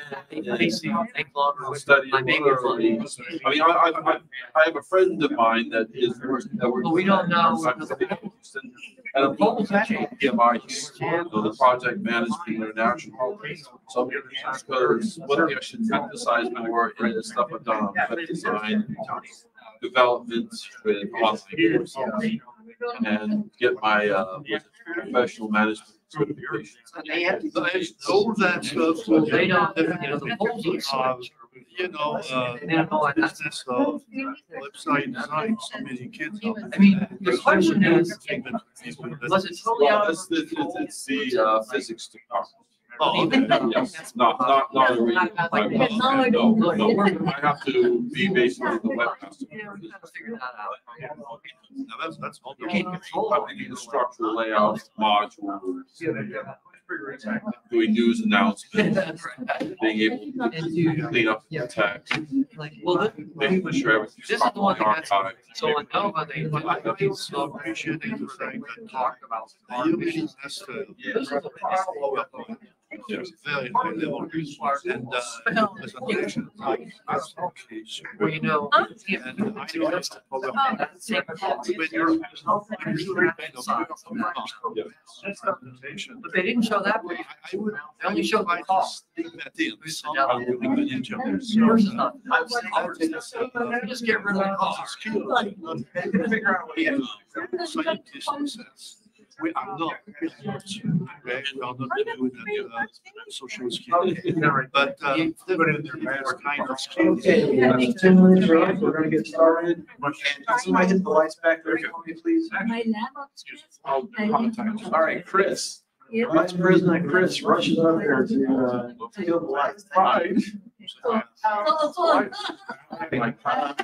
let's, I'm gonna have you come in just a minute after. I get these people. Uh-huh. Others here. Let me, uh, do one just to get everybody quiet. Okay, so we're starting our meeting, which means time for everybody to pay attention. Shh. Stop talking. I hear a professor talking.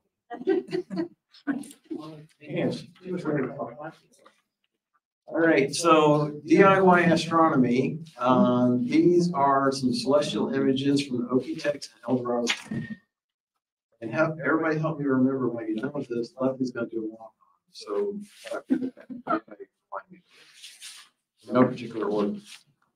All right, so, uh, this is my telescope configuration for these images. This is a eight inch, um, Ritchey-Chrétien on a Losmandy G eleven mount with a KF A three hundred base CCD camera, monochrome to use filters with it. And this other one is a two hundred millimeter focal length Canon, uh, camera lens and on the Celestron ASGT mount and modified DSLR, Core fifty D DSLR. So that's the cameras and telescopes are used for these pictures I'm gonna show you. All right, so the first one, Wow. this is, uh, anybody know this one? Stars? This is NGC six five five nine. And it's, it's actually the star forming region and it's got some nice blue reflection nebula and, and red emission nebula here. This is actually right next to the lagoon nebula. So if you ever look at the lagoon, the lagoon's right here and just directly east of it is this NGC six five five nine. I think because the lagoon is so big and bright and everything, I think everybody ignores this thing. But it's basically the same distance to the east as the Trifid Nebula M twenty is north of, uh, the lagoon. But it's actually a really beautiful area. It's got lots of variety. It's got some dark nebula here. It's got lots of different color stars. There's a star formed region in Sagittarius. Okay, anybody know that one? What's that one? Thirty-one. Yay, M thirty-one, Andromeda Galaxy. And, um, so this is taken with a two hundred millimeter camera lens. This was an Okie-Tex also. And then there's these satellite, satellite galaxies here, M one ten and M, um, thirty-two. Anybody know that blue reflection nebula up there? That is what we call haze in the atmosphere. I remember that, my. That is an optical anomaly. But if there's a blue reflection nebula up there, I don't know what it is. So that's, uh, and, you know, sometimes we think about DSLRs not, you know, as good as CCD camera, but this shows you if you get a dark sky and you take enough pictures, those twenty-two, uh, images combined, uh, you can actually get a decent image even with the DSLR. Okay. Nobody's gonna get this one. I got three telescopes for anyone who knows this one. Barnard something. Uh, it may be, but one I know, this is LBN, uh, six seventy-three. And what's unique about this one, this was taken with the eight inch Ritchey-Chrétien again. This is actually in Aquila.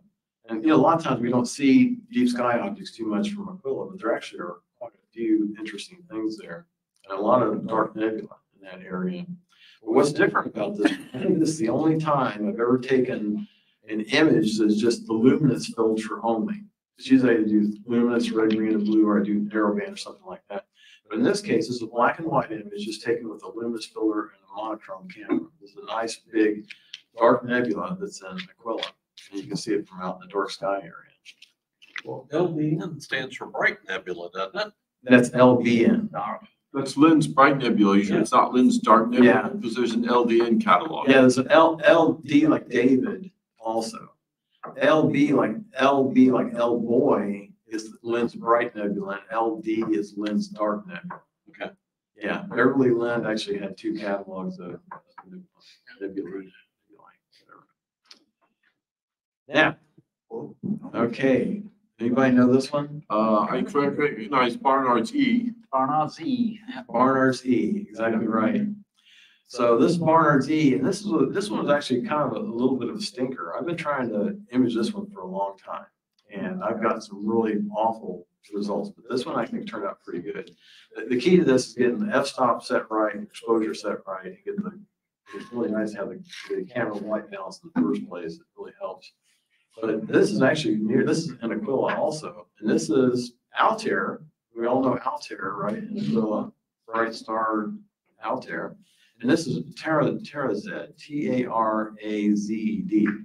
So nice, nice contrast between this blue one and this red one right here. We were talking about that star party this week about the, the, um, HR diagram, the different temperatures of stars. I was hoping some of the students would be here tonight, but this is a good example. You can really see these different color stars and different temperatures. But right next to these two, right next to Altair and Tarazed is this Barnard's E, dark nebula. E. It was also, it's also called the triple cave. Sometimes you hear it called that, but. Okay. Now, yeah. You're not gonna believe where this is. Okay, yeah, this is, this is a pretty cool picture. This is the only narrowband picture I did during this, this trip. But this is, um, this is actually Sharpless two, one sixteen, Sharpless two, one twelve. And right in here, see this little bitty, red, little bitty dot there? This is actually done with a two hundred millimeter camera lens, but with a CCD camera. That is actually Abell, uh, seventy-one, it's a planetary nebula. So, you know, Abell's got a lot of, uh, planetary nebula in the catalog. And then over here, strain your eyes. Can you guys see this little blue circle in there? Yeah. You see that one? That is a planetary nebula also, very similar to like the ring nebula. Little, little circle there, but very faint. That's a planetary nebula there also. And anybody have any idea what that star is? I'll have to give you a hint. It's in Cygnus. What's, the- what's the big bright star in Cygnus? Deneb? Exactly right. This is right next to Deneb. Are these the DWB nebulas? These are Sharpless too, nebula. No, I mean the overall other hazy areas, the other nebulous areas, because there's the DWB catalog for all the H two regions in Cygnus. DWB. I'm not Yes. familiar with that. I don't know. The answer is I don't know. I bet it is, because they're all, they're, they're very big around all of the, all of the, s- around the whole of Cygnus in the main body of the, of basically what it is, the Northern Cross, the swan. Neat. So what's DWB stand for? oh, God. it's three different astronomers who actually did a mapping back in the seventies, I believe it was in the seventies, trying to look at the concentration of H two regions along constellations along the Milky Way, and they found a lot of these in the constellation of Cygnus. Cool. But it's the DWB catalog. Yeah, it's, you know, it- and that's kind of one of the things I'm gonna try to point out here is that, you know, we, look up in the sky and we see Cygnus or, uh, you know, look at Cygnus and all this stuff. Here's the lines that show where the constellation is. But, you know, there's just stuff all over in Cygnus. Cygnus is just filled with, uh, deep sky objects. There's just things all over the place in there. There's these planetary, there's actually three planetary nebulae here. I can't actually make that one out, but there's Abell seventy-one, which just has a different, this is also a PK catalog version of it. And then over here is that little round blue pla- planetary nebula we were talking about. a minute ago. Perek-Kohoutek. Yeah. I'm sorry, what? Perek-Kohoutek. There you go. Okay. Perek-Kohoutek. So oh. it's a good thing that Justin came tonight. He can tell. I knew it too. I just didn't want to say it. Thank you, Justin. I appreciate it. I'm more interested in taking these pictures than than they actually are. But the other thing is too, I, I think it's kind of really astounding about this. You look at this, and I mean, this is really what, That's gorgeous. this is what space really looks like. Yep. I mean, really, uh, this is what it really looks like. You know, we look up and we think it's a bunch of stars in the black sky, and that is no way what it is really like. I mean, this is Deneb, and, and there's just all this stuff, all this clouds of dust and gas just everywhere, all these objects, there's just stuff everywhere. in space. You got a desert environment, you can see some of those DWBs in a telescope with a, with some narrowband filters for visual observing, and they have some very spooky ghostly appearances. Yeah, it, it's really, it's really a cool region, the whole thing. I remember, I Trevor, you took a picture of the Sadr Nebula. Yeah. This isn't it, but that actually is, is near here too, and that's really a beautiful area too. I remember that one. Got it. what's your field of view on this with that? Uh, it's about five degrees by four, by three degrees. Okay. Yeah, it's pretty wide. This is, a this is a hundred millimeter camera lens with a CCD camera on it. Not, this, this isn't taken with the, the DSLR. this- Yeah. the CCD camera. Yeah, I see your camera. So what palette are you using on this, Doug? I'm sorry, what? What palette are you using on this? Well, I'm, I'm mapping the, yeah, that's a good point. Uh, I'm mapping the, the hydrogen to green and the sulfur to red and oxygen to blue. Yeah. All right, so we just saw it. And also in Cygnus, okay. This is, uh, this is actually up in here is the Sadr Nebula. This is the very edge of the Sadr Nebula, which you guys may have seen Trevor's picture in the past. That is really good. But this is the region between the Crescent Nebula and the Tulip Nebula down here. So this, and this is taken a wide angle shot. Now this is actually with a DSLR instead of a, CCD camera. But this is a really wide angle shot. You can see just all this, these different emission nebula in here and dark nebula. They're all DWBs. I believe it. So the, the region between the Crescent Nebula and the Tulip Nebula, this was taken during the, um, at El Dorado. But in between Okie-Tex and El Dorado actually took this picture of the Tulip Nebula. So remember back here, this is the Tulip Nebula with a wide angle shot with a DSLR, right? And this is the Tulip Nebula with a telescope and narrowband taken from home with the Ritchey-Chrétien telescope. The same pattern as before. So- So comparison of what an LRGB, you know, version of that would like in a narrow band with a telescope. Did somebody say something? Yeah, um, the, move your mouse, uh, no, the other direction. Or Uh, that bright star, that one? yeah, then down to the, that region right diagonally away from it. It's like following one of the, the diffraction spikes. You're talking about the big red Yeah, star, there you you go, got right that, there. that shockwave material. Yeah, that looks like, yeah, that's what I was gonna say. It looks like a shockwave. Yeah, it is. You can get some disruptions in the, uh, in the Stromgren spheres in these nebulas. Mhm. And down here too. Yeah, okay. Yeah. Yeah, this is actually, uh, narrowband imaging, you know, it takes a lot longer. This is actually over a period of seven days, seven nights worth of data for this one. All right, this is my contribution to the solar eclipse pictures, because we were, when we were in El Dorado, we were within walking distance of the, of the center line for the, uh, for the solar eclipse. And I got some sunspots. I've seen better pictures of the sunspots, but I was glad I got a few sunspots. And you guys may be wondering, well, wait a minute, if you're so close to the center line, where's your picture where the moon is perfectly centered in the sun, right? This right here is where I had an equipment malfunction. Oh, oh. My camera stopped working and my computer stopped working. I restarted everything and there's a four minute gap there where I missed that. Big one. So equipment problems, they're just wonderful. Yeah, but got the rest of it. Okay, this, anybody know this one? It's, well, this is, this is, I'm not gonna make you guess, but this is a gigantic globular cluster, this M twenty-two. It's in Sagittarius.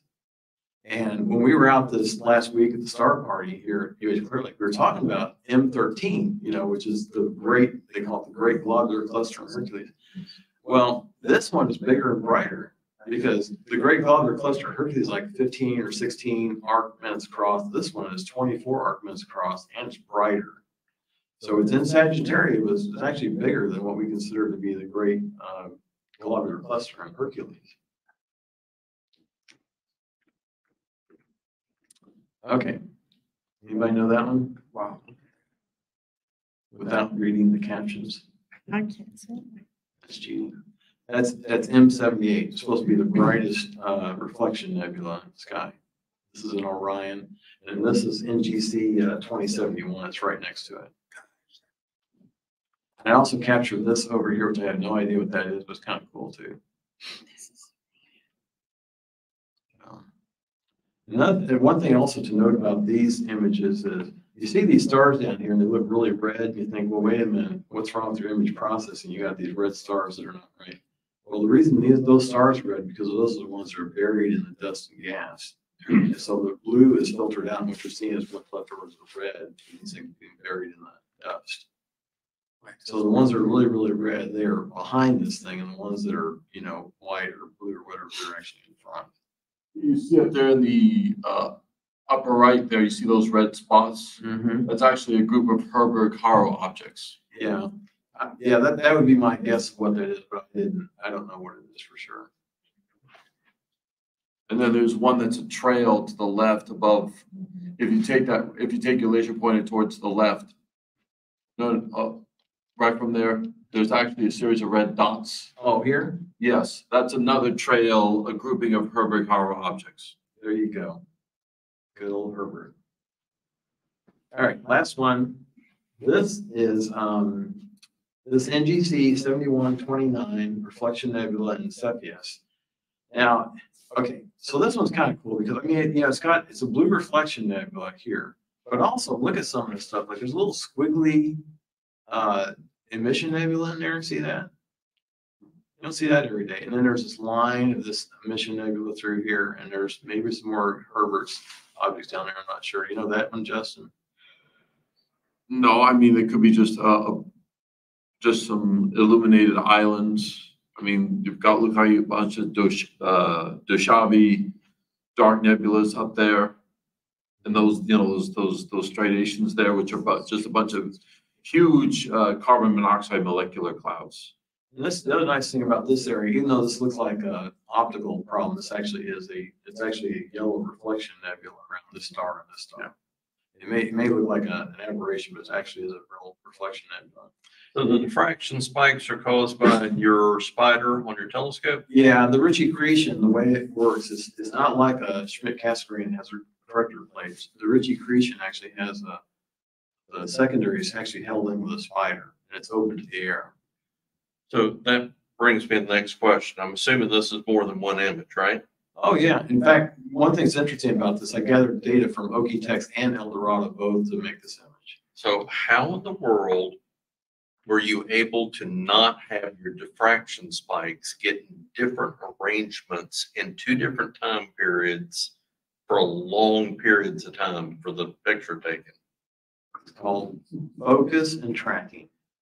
And it, and in your arrangement on your tube did not rotate at all to do this for, for two different locations? Yeah. Wow. Yeah. Hmm. Well, that's true. I mean, I mean, one's not down in Texas. Right. But yeah, they combined okay, without any problems. Hmm. Hmm.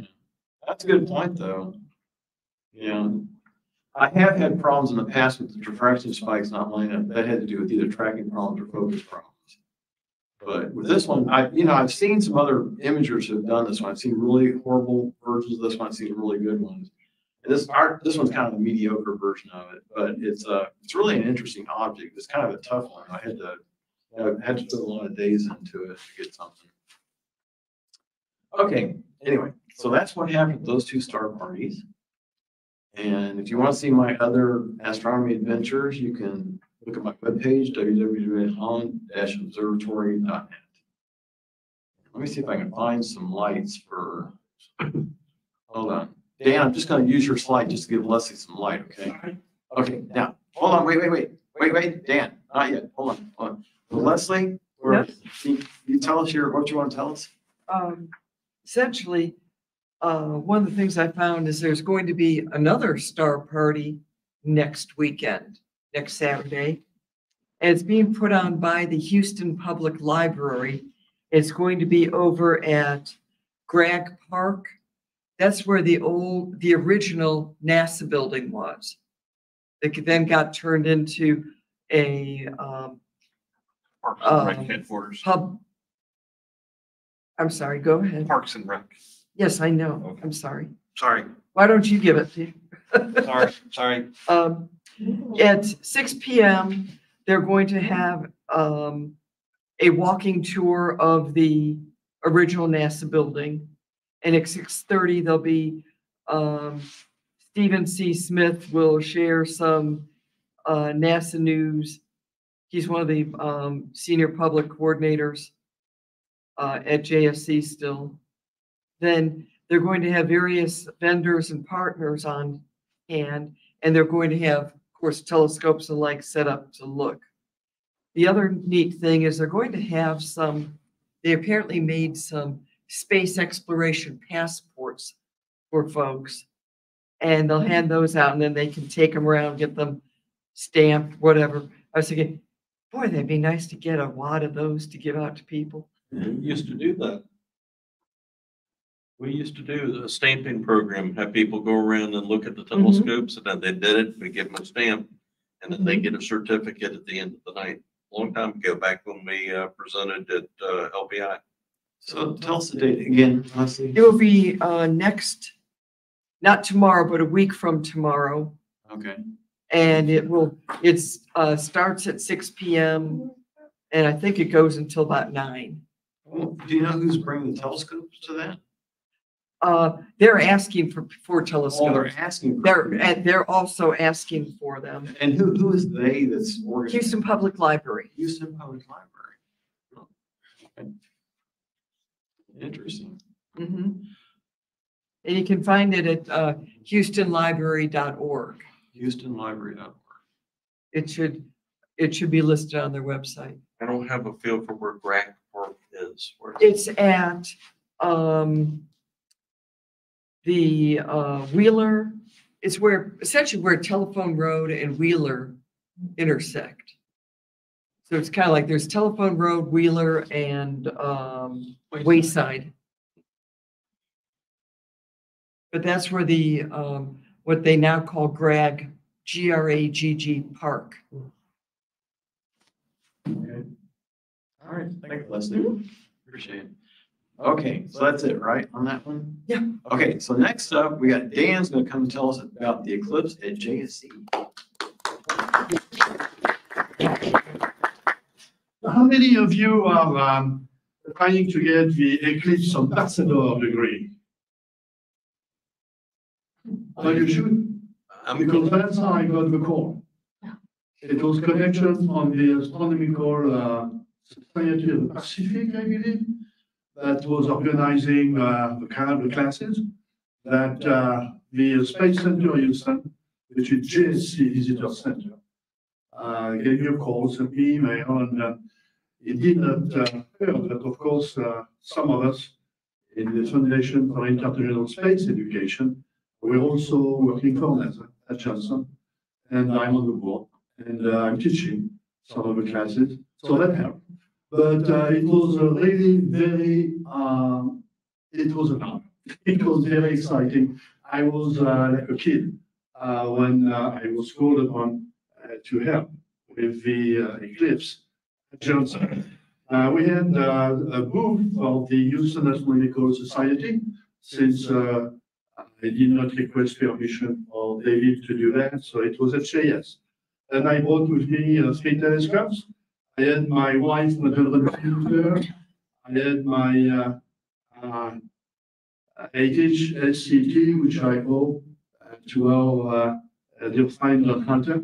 That's uh, his telescope. They uh, donated to me when Don was still alive. And um, I had uh, my uh, contraption uh, of an old spotting scope I used to shoot at the range. And I used a projection device. I was very excited to see the uh, picture uh, that uh, was shown earlier um, by, um, um, I forgot your name, damn it. Um, I- I'm getting old. I'm so sorry. uh, Is it, is it Chris? Your, your, your, uh, your stuff on Sky, I'm so sorry. I, uh, Mike? Mark, Mark, Mark, of course, surely, David, don't get bored, okay, but, uh, it's, it's getting more and more annoying, and, um, you know, you were mentioning it was fifty years ago. Yeah, when I was there, and, uh, my arthritis is reminding me every day. Yeah, so, anyway, we had a lot uh, of people, too many uh, people to, uh, uh, to sell three telescopes, that was silly, and I told, my partners that, uh, Johnson, it would never work because we had three thousand people there for heaven's sake. And, uh, I'm accustomed to having to handle a lot of people by myself that, uh, slam me in the park. Uh, but this was ridiculous and a lot of people just gave up. Uh, there was no way that we could. uh, And this is my, uh, my pride and joy. Basically what I did is I took my own spotting scope and, um, I used a projection uh, technique, and I was paranoid. I would fire the eyepiece. Okay, I was sure that it would explode on me. And absolutely not. I mean, I tried little by little to raise the aperture, and I went full bore, and I checked the temperature, no problem. And um, I'm very impressed by what I can get with that. The picture doesn't do justice to it. I could see the sunspots. It was extremely clear. And uh, I would urge you to, um, to try that. So two things, please, why don't you try to become Eclipse ambassador? It's not a big deal. It's about twelve hours of, um, of training. Uh, some of it is Mickey. You will be given a young student, probably, that was my case. I got a um, wonderful young woman, astrophysicist, a student. Uh, she gave you a talk here, um, in a couple of months ago, actually, my dear friend, uh, now, Hani now, she's from Senegal, so we can communicate in two languages, since uh, Senegal used to be a French colony. And uh, she definitely is the scientist in, uh, in the team. And uh, we got um, uh, this, uh, this possibility of going to, um, to Johnson and doing that kind of stuff. And as a reward, we are given a VIP tour. And uh, that, that was the hallmark of, of my year. That's what I had. All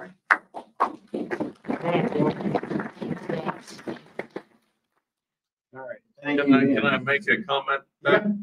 So, Dan, I, uh, I actually have applied and I actually got accepted yesterday to be an eclipse star for the upcoming total solar eclipse with the Astronomy Society of Pacific. So Fantastic. my plan is to take a busload of my students Cool. out and get into the path of totality. And while I don't have to go through twelve hours of training, I gotta go through about three. And they're supposed to send me a kit with stuff that I can use to further educate the public on eclipses. That's a very important thing we can do because you guys don't realize that, but there is a lot of expertise in this group.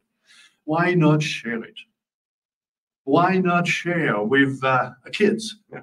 Plant the seeds. And that's what I decided to do until I get too gaga to do anything else. Okay, next up, we got Trevor and tell us about those images. I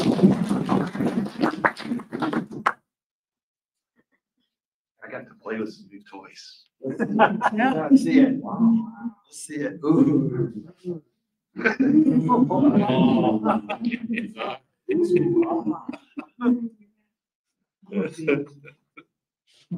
Advance. Yeah. Okay, so, uh, just set up in my front yard. Uh, Got about forty-five minutes where here's kind of a sequence that I got. Uh, and then, uh, got a little, uh, little bit of a video if it plays. No, it's not gonna play.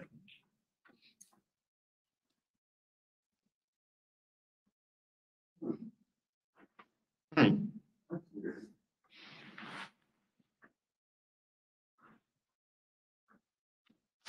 Yeah, it's just gonna jump to the. Maybe- Maybe back. Before, all you do is click on it and it would play. There it goes. How'd you get to play? I tapped on the black area, Okay. but that's the same shots just pieced Yeah. together as a little I see it. animated.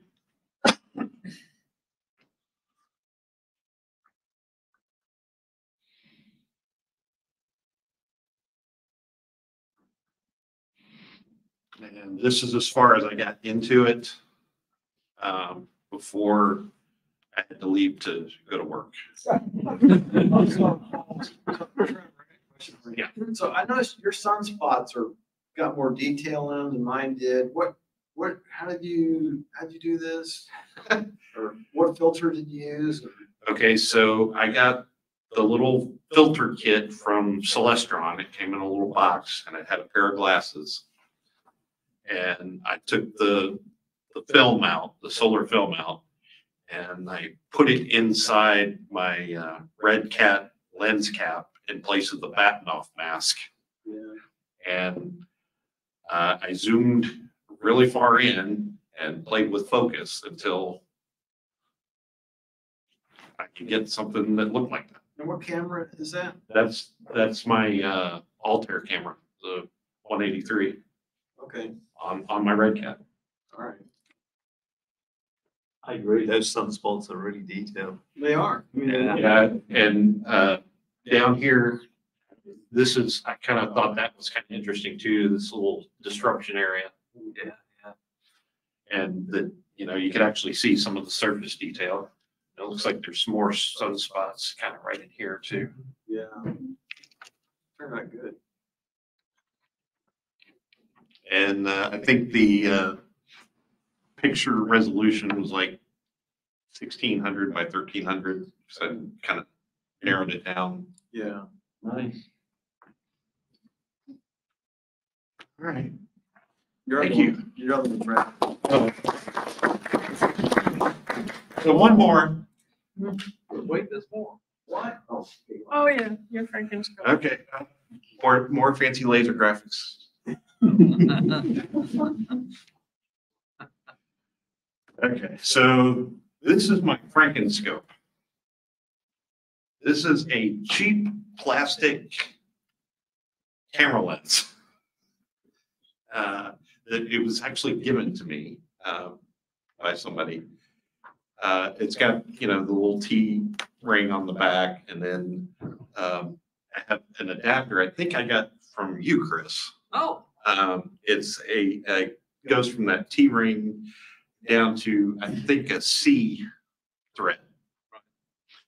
And then that's my, uh, Celestron Next Image ten camera on the back. So I was like, I want to see if I can do this to, to make it work and see if I can get anything. So I decided to try it out at, uh, the International Observe the Moon event that was at U of H Clear Lake up on the observation deck up here. Uh, so through the clouds, that's what I was able to get.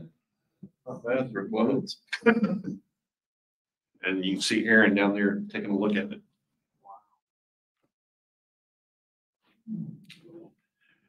And there's another thank you.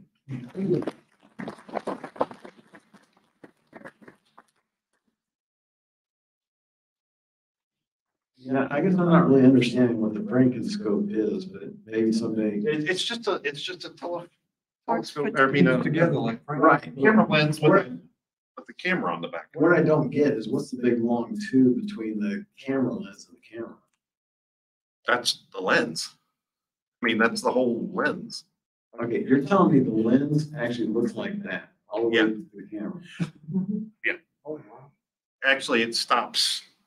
Uh, cause like, Okay, since, since, This, this whole thing is the lens. uh, but in the, in the other picture, I didn't have the tele, the two times converter on there, Oh, that's a two times converter. right in here. So it's actually shortened to here. Oh, okay. Two times converter. All right, whatever. Yeah. So basically it takes it from, uh, five hundred to a thousand. So what's the two times converter? Where'd that come from? I, I found it in the box that, that came with it. And I had it Parts later together. just to, just to, because I, I want to go test that out and see how, how close in I can get. Say, where did the box come from? That's right. It came from a friend of ours. A friend of ours, okay. All right, whatever. And They, the person was into photography and somebody gave them to him, I don't want this cheap lens. Okay. All right, so. I think you get the the lens and the teleconverter for like a hundred bucks at, at Amazon. It's Okay. cheap plastic. Whatever, all right. Okay, now, believe it or not, we have a member's minute from Paul Maley, who is in Arizona. And he wanted to submit this Cave Creek Dark Sky Night. Paul wants to know that they had six hundred people at their local Cave Creek Dark Sky Night this past week, about two miles from where I live, Carefree, Arizona. So Paul wants us to know that he is out there in Arizona and spreading the good word of astronomy. Oh, Good for Paul. Thank you, Paul, for participating from afar. All right, oh, so the next one is a DIY astronomy line, radio astronomy update. Okay, so, um, some of us within the club have taken interest in radio. What are you laughing about? The log, the camera way, it cracks me up every time. It works. It works. It's amazing. So magnificent. Some of us have taken an interest in radio astronomy and joined the SARA, which is a Society for Amateur Radio Astronomers in our club here. And uh, some time ago, I showed you this, this uh, radio telescope, which is Chris's favorite because it's made with a piece of tree and, and Trevor thought this was a, uh, a broom handle, but it was not. It was a shuttle handle. And this beautiful Wi-Fi antenna.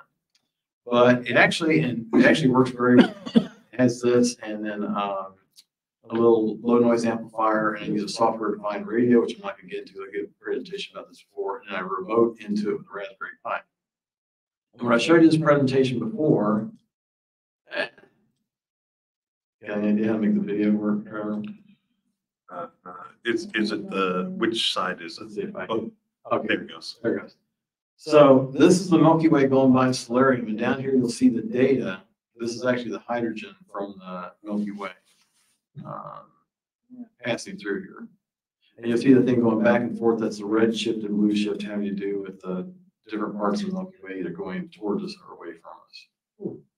So I showed you that a few years ago. This was my, that was my first radio telescope um, experiment.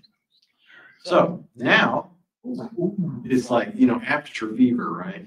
The other- The other uh, telescope was uh, about one point zero six meters by 0.6 meters. So this thing, I, I built a uh, seven foot, which is two point one meter dish, just out in our backyard. And uh, this one, the other one had twenty-four dBi, this one's thirty dBi, that's the gain of the antenna. This one has a little, this has better resolution, seven degrees, you know, radio astronomy because of the wavelength. Um, resolution, you have gigantic dish, you still got crummy resolution, it's still seven degrees, the other one was fourteen degrees. You know, and then, and then in optical astronomy, we think of focal ratios, we think like an F eight scope or an F five or whatever. In radio astronomy, focal ratios are like 0.4, 0.4. It's way different than what we think of in optical. So the first version of this thing, this is actually just put together a week ago today, was when this picture was taken. And it's the first one had a pyramidal horn, this is the feed antenna. So the, the dish down here, this is really just a reflector. So the electromagnetic waves come down, it hits the reflector, and then um, it's bounced up into this feed horn, and the feed horn then gathers it, cables it down to the radio, preamp to the radio. And why, you know, one thing I want to say is why do we care about radio astronomy? You remember from Mark's presentation, he showed what wavelengths of light will actually get through the atmosphere. And radio, you know, visible light will make it through, but the radio will also. So this is something we can actually do from the ground and do things at different wavelengths than we would in visible light. So you may remember that there's a gigantic gap in the radio. So, um, you know, this, just like we can do visible astronomy, we have the ability to do this, you know, on the ground. Same electronics, just different, uh, antenna. This is what the horn, the horn is actually a 3D printed horn. I did it at the library. And, uh, it was a whole lot more material than I thought it was gonna be. But 3D printed horn and then the inside is spray painted with a metallic, um, conductive spray paint. In the back is a, a brass plate on the back. This is the building of the dish in our garage. Uh, people thought, this is right before Halloween, people thought I was building Halloween decoration in the garage when they looked at this thing. And this is with the, um, hardware cloth. And I don't think Chris Randall's here tonight, right? Chris? No, Chris. We were at Mod Pizza and I was working on this some time ago and I told Chris, and we were talking about I was gonna put chicken, uh, wire on this. He said, oh, no, no, no, don't use chicken wire for all these reasons. Use hardware cloth. I never even heard of hardware cloth, but it's this stuff you can get from the hardware store or anywhere, and it's, uh, it's got very closely spaced, um, grid, and it's more electrically good than this chicken wire, so I use hardware cloth. But the challenge of this thing is trying to get a flat object to conform to a parabola is really difficult. I, I spent a lot of time out there, got lots of cuts on my hands and stuff like this, trying to get this thing on here. But that was the dish under construction, and you saw it already put together out there in the backyard. And then this is, um, I don't have a movie of it, but this thing looks a whole lot better than it works. So my, my, my Wi-Fi thing had a, had a, had a signal noise ratio of about 0.5 decibels, which in in radio astronomy, everything's really different than optical. But this one, even with this gigantic aperture, only gets like about 0.25 dB signal noise ratio, which is awful. After all this work, this thing worked even worse than a Wi-Fi dish antenna did. So that was very disappointing. So then I turned around, I said, okay, I think it's my, my 3D printed horn. And so then what I did is I implemented a helical beam antenna. Actually, Trevor's seen this thing. He actually came over and saw it. He's Very impressive. yeah, yeah. So I got this, now I mean, this helical beam antenna. What this is, this, it's a PVC pipe with a wire wrapped around the helix, and there's a reflector here. And, um, this one actually works quite a bit better. So the original Wi-Fi antenna was 0.5 dB signal noise ratio. The 3D printed horn is 0.25, but then this one is greater than one dB, so it's actually working better than the Wi-Fi antenna.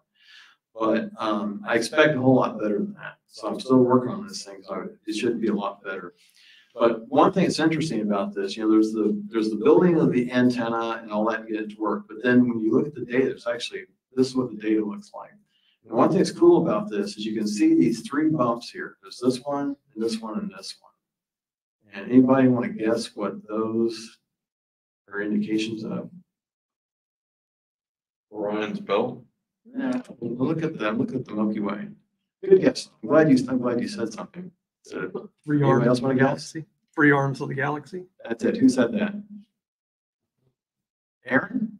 Oh. Phil. In back. This person? Okay, that's what it is. Exactly right. How'd you know that? I've been playing with this too. You know what? I've been playing with this too. Oh, really? Yes. What kind of, what kind of antenna do you The have? little Wi-Fi. The Wi-Fi antenna? Yeah. Oh, cool. What- Are you, are you a member of SARA? No. Well, I bought it from SARA, but I'm not really a member. You're what? I bought it from SARA, but I'm not a member. Okay, well, anyway, that's, how, have you been here before? Yeah. Okay, all right, well, I'll talk to you afterwards. Anyway, Jerry Campbell also is doing this too. Jerry, he's not here tonight. He had a- something I don't understand, some kind of frozen surgery, which I don't know what that means. Anyway, um, anyway, but yeah, that's what it is. This is, this is, shows you that there's, there's, this is showing three different arms of the Milky Way. This is actually data to prove that, that the Milky Way is actually made of multiple arms. Okay? So, what kind of dB do you get, what's your signal noise ratio on your system? I couldn't tell you. Well, yeah, don't. You know, okay, here's my thinking. Okay, I want, let's see if this guy knows. Okay. My thinking is, if you have, okay, the, the Wi-Fi dish is a certain area, right? And then this other dish is, is five, six times bigger. So let's say if it was four times bigger, I was thinking four times should be a six dB increase in the signal. Right? Why? Huh? Why? Because DB. Because four, log of four times ten is six. That's why. So is that true or not true? I'm not the person to ask. Okay, good. But here's, okay, here's the thing that made me feel better about this. I got, I got pretty discouraged about this thing, but then I started looking at other people that have huge dish antennas and their signal noise ratios are tiny also. So there's something about my thinking that's not right about, you know, like on telescope, you get a bigger mirror, you get a lot brighter image. And I'm thinking that this thing should have given me a lot bigger signal with the bigger dish, but for some reason I'm getting still not appreciably larger signal. I've mainly used mine to chase down noise in my house that's causing us all kinds of spikes in the signals. What? I've got- I've got the bumps in there, but, uh, But you're using for radio astronomy too? Are you, are you using the, uh, um, preamp? Okay, and. yeah, same stuff, same stuff you listed Uh, there. Yeah. Who are, who are you? Phil Stewart. Phil Stewart. Okay, great. Well, Phil, we, we need to get to know you. Come to Mod Pizza afterwards. We'll talk about it. Anyway, but that's what that is. So what's cool about it, hopefully, if, even if you guys are interested in radio astronomy or not, but the thing is, this actually shows you, you can actually in your backyard prove that the Milky Way has multiple arms. So that's that. Okay, things to do, um, continue testing position of the helical beam antenna, because I, you know, trying to find the exact position of it, it does change, you know, the, the the level of signal about Earth position. Okay, figure out what's wrong with the three D printed horn antenna, because that antenna should be really good. And for whatever reason, that horn's a piece of garbage, and, but it should be a really good design, that, that should be the optimal, horn antenna should be actually the preferred, uh, feed for this thing. So I need to understand why that's not working. Bill, I'm gonna test a cylindrical waveguide antenna. I wish Jerry was here. I just waited for him to jump out. You know what a cylindrical waveguide antenna is? Don't know that one?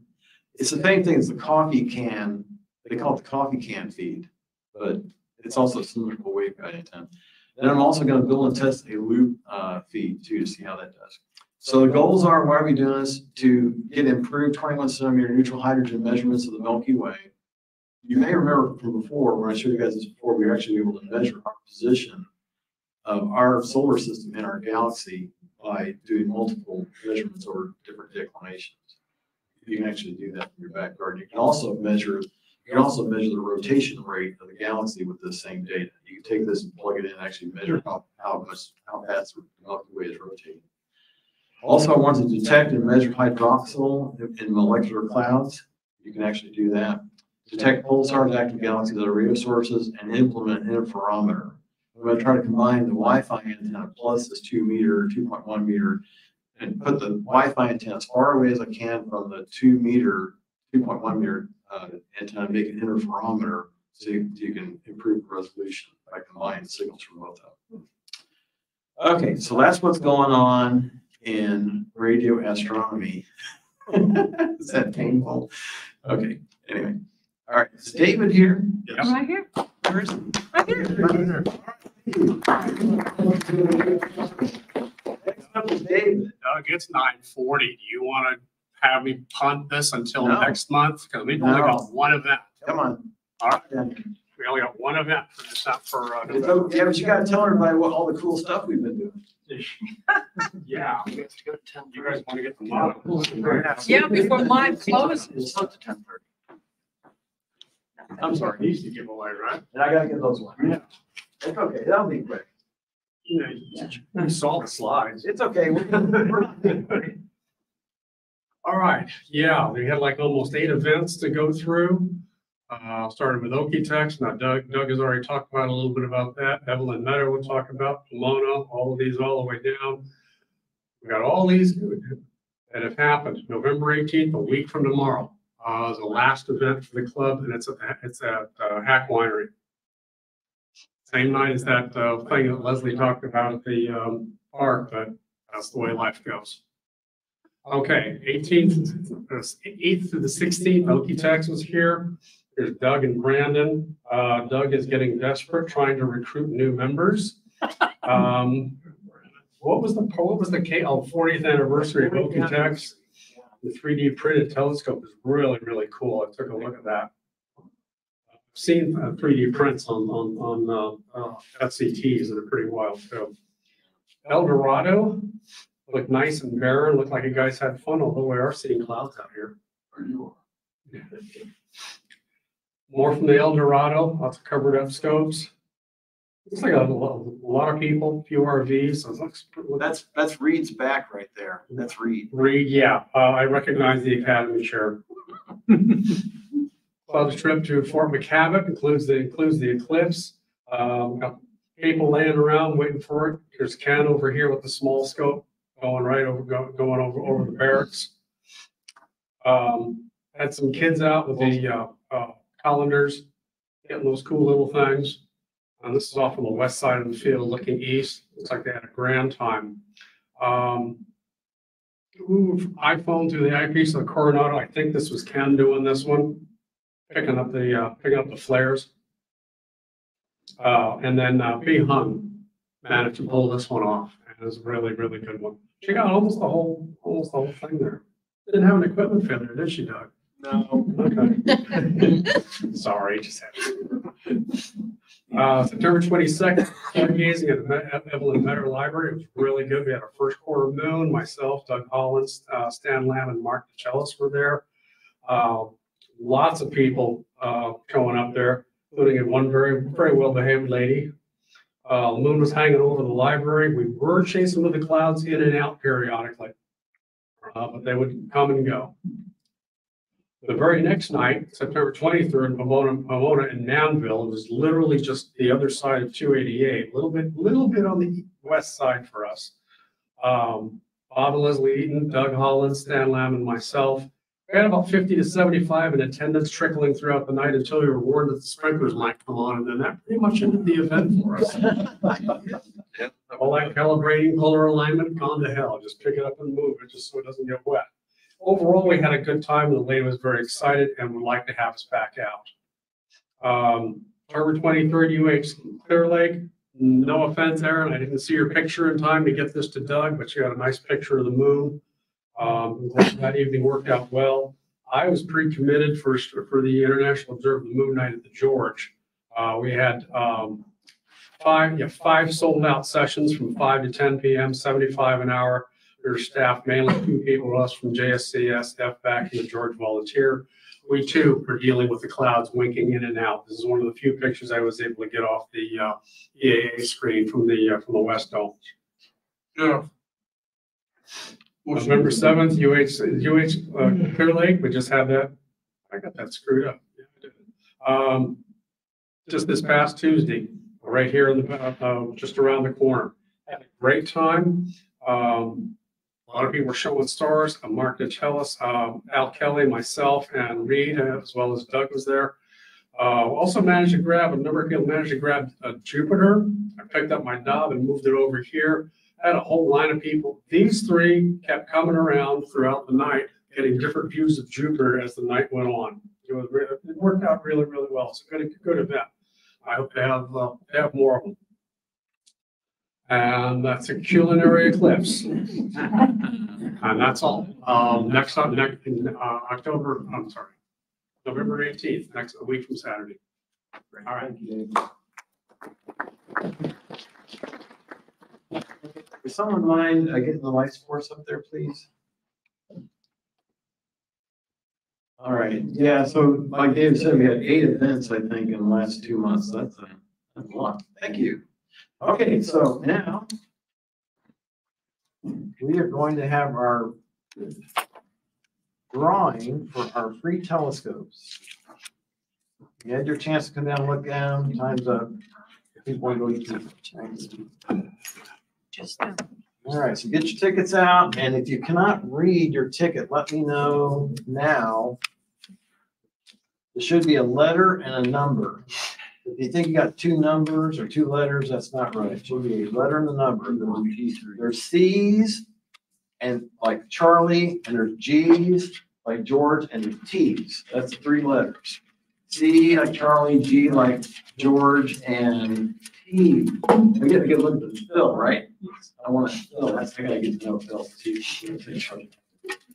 And I can see the daylight. All right, so the first one is T ten.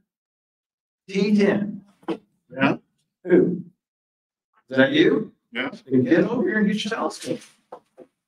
Okay, ten is that, uh, around, Pasco, you got it, man. Check on Nichols, I'm going gaga here. Okay, that's yours. Is it a T ten? That's it. Go get it. All right, next one is G six. over here. Who's G six? All right, Jonna, get down here. Come on, Jonna. Why are you not down here? I'm over here showing a video. Jeez. Oh, yeah, I know. Okay. Come on, we don't have all day. Let's go, let's go. G six, that was Jonna. Which one is this? Which telescope? Why are you going the long way? Johnny, you're driving me crazy. Yeah, I tell her that all the time. Says her husband. Okay, come on. You wanna go back up and down a couple more times? All right, the one on the left, G six, that was yours. The black one? No, the one on the left. Oh, okay. The other left. Which which side is your left? hand? So, No, that's from here. That's your- Thank All you. right, take it.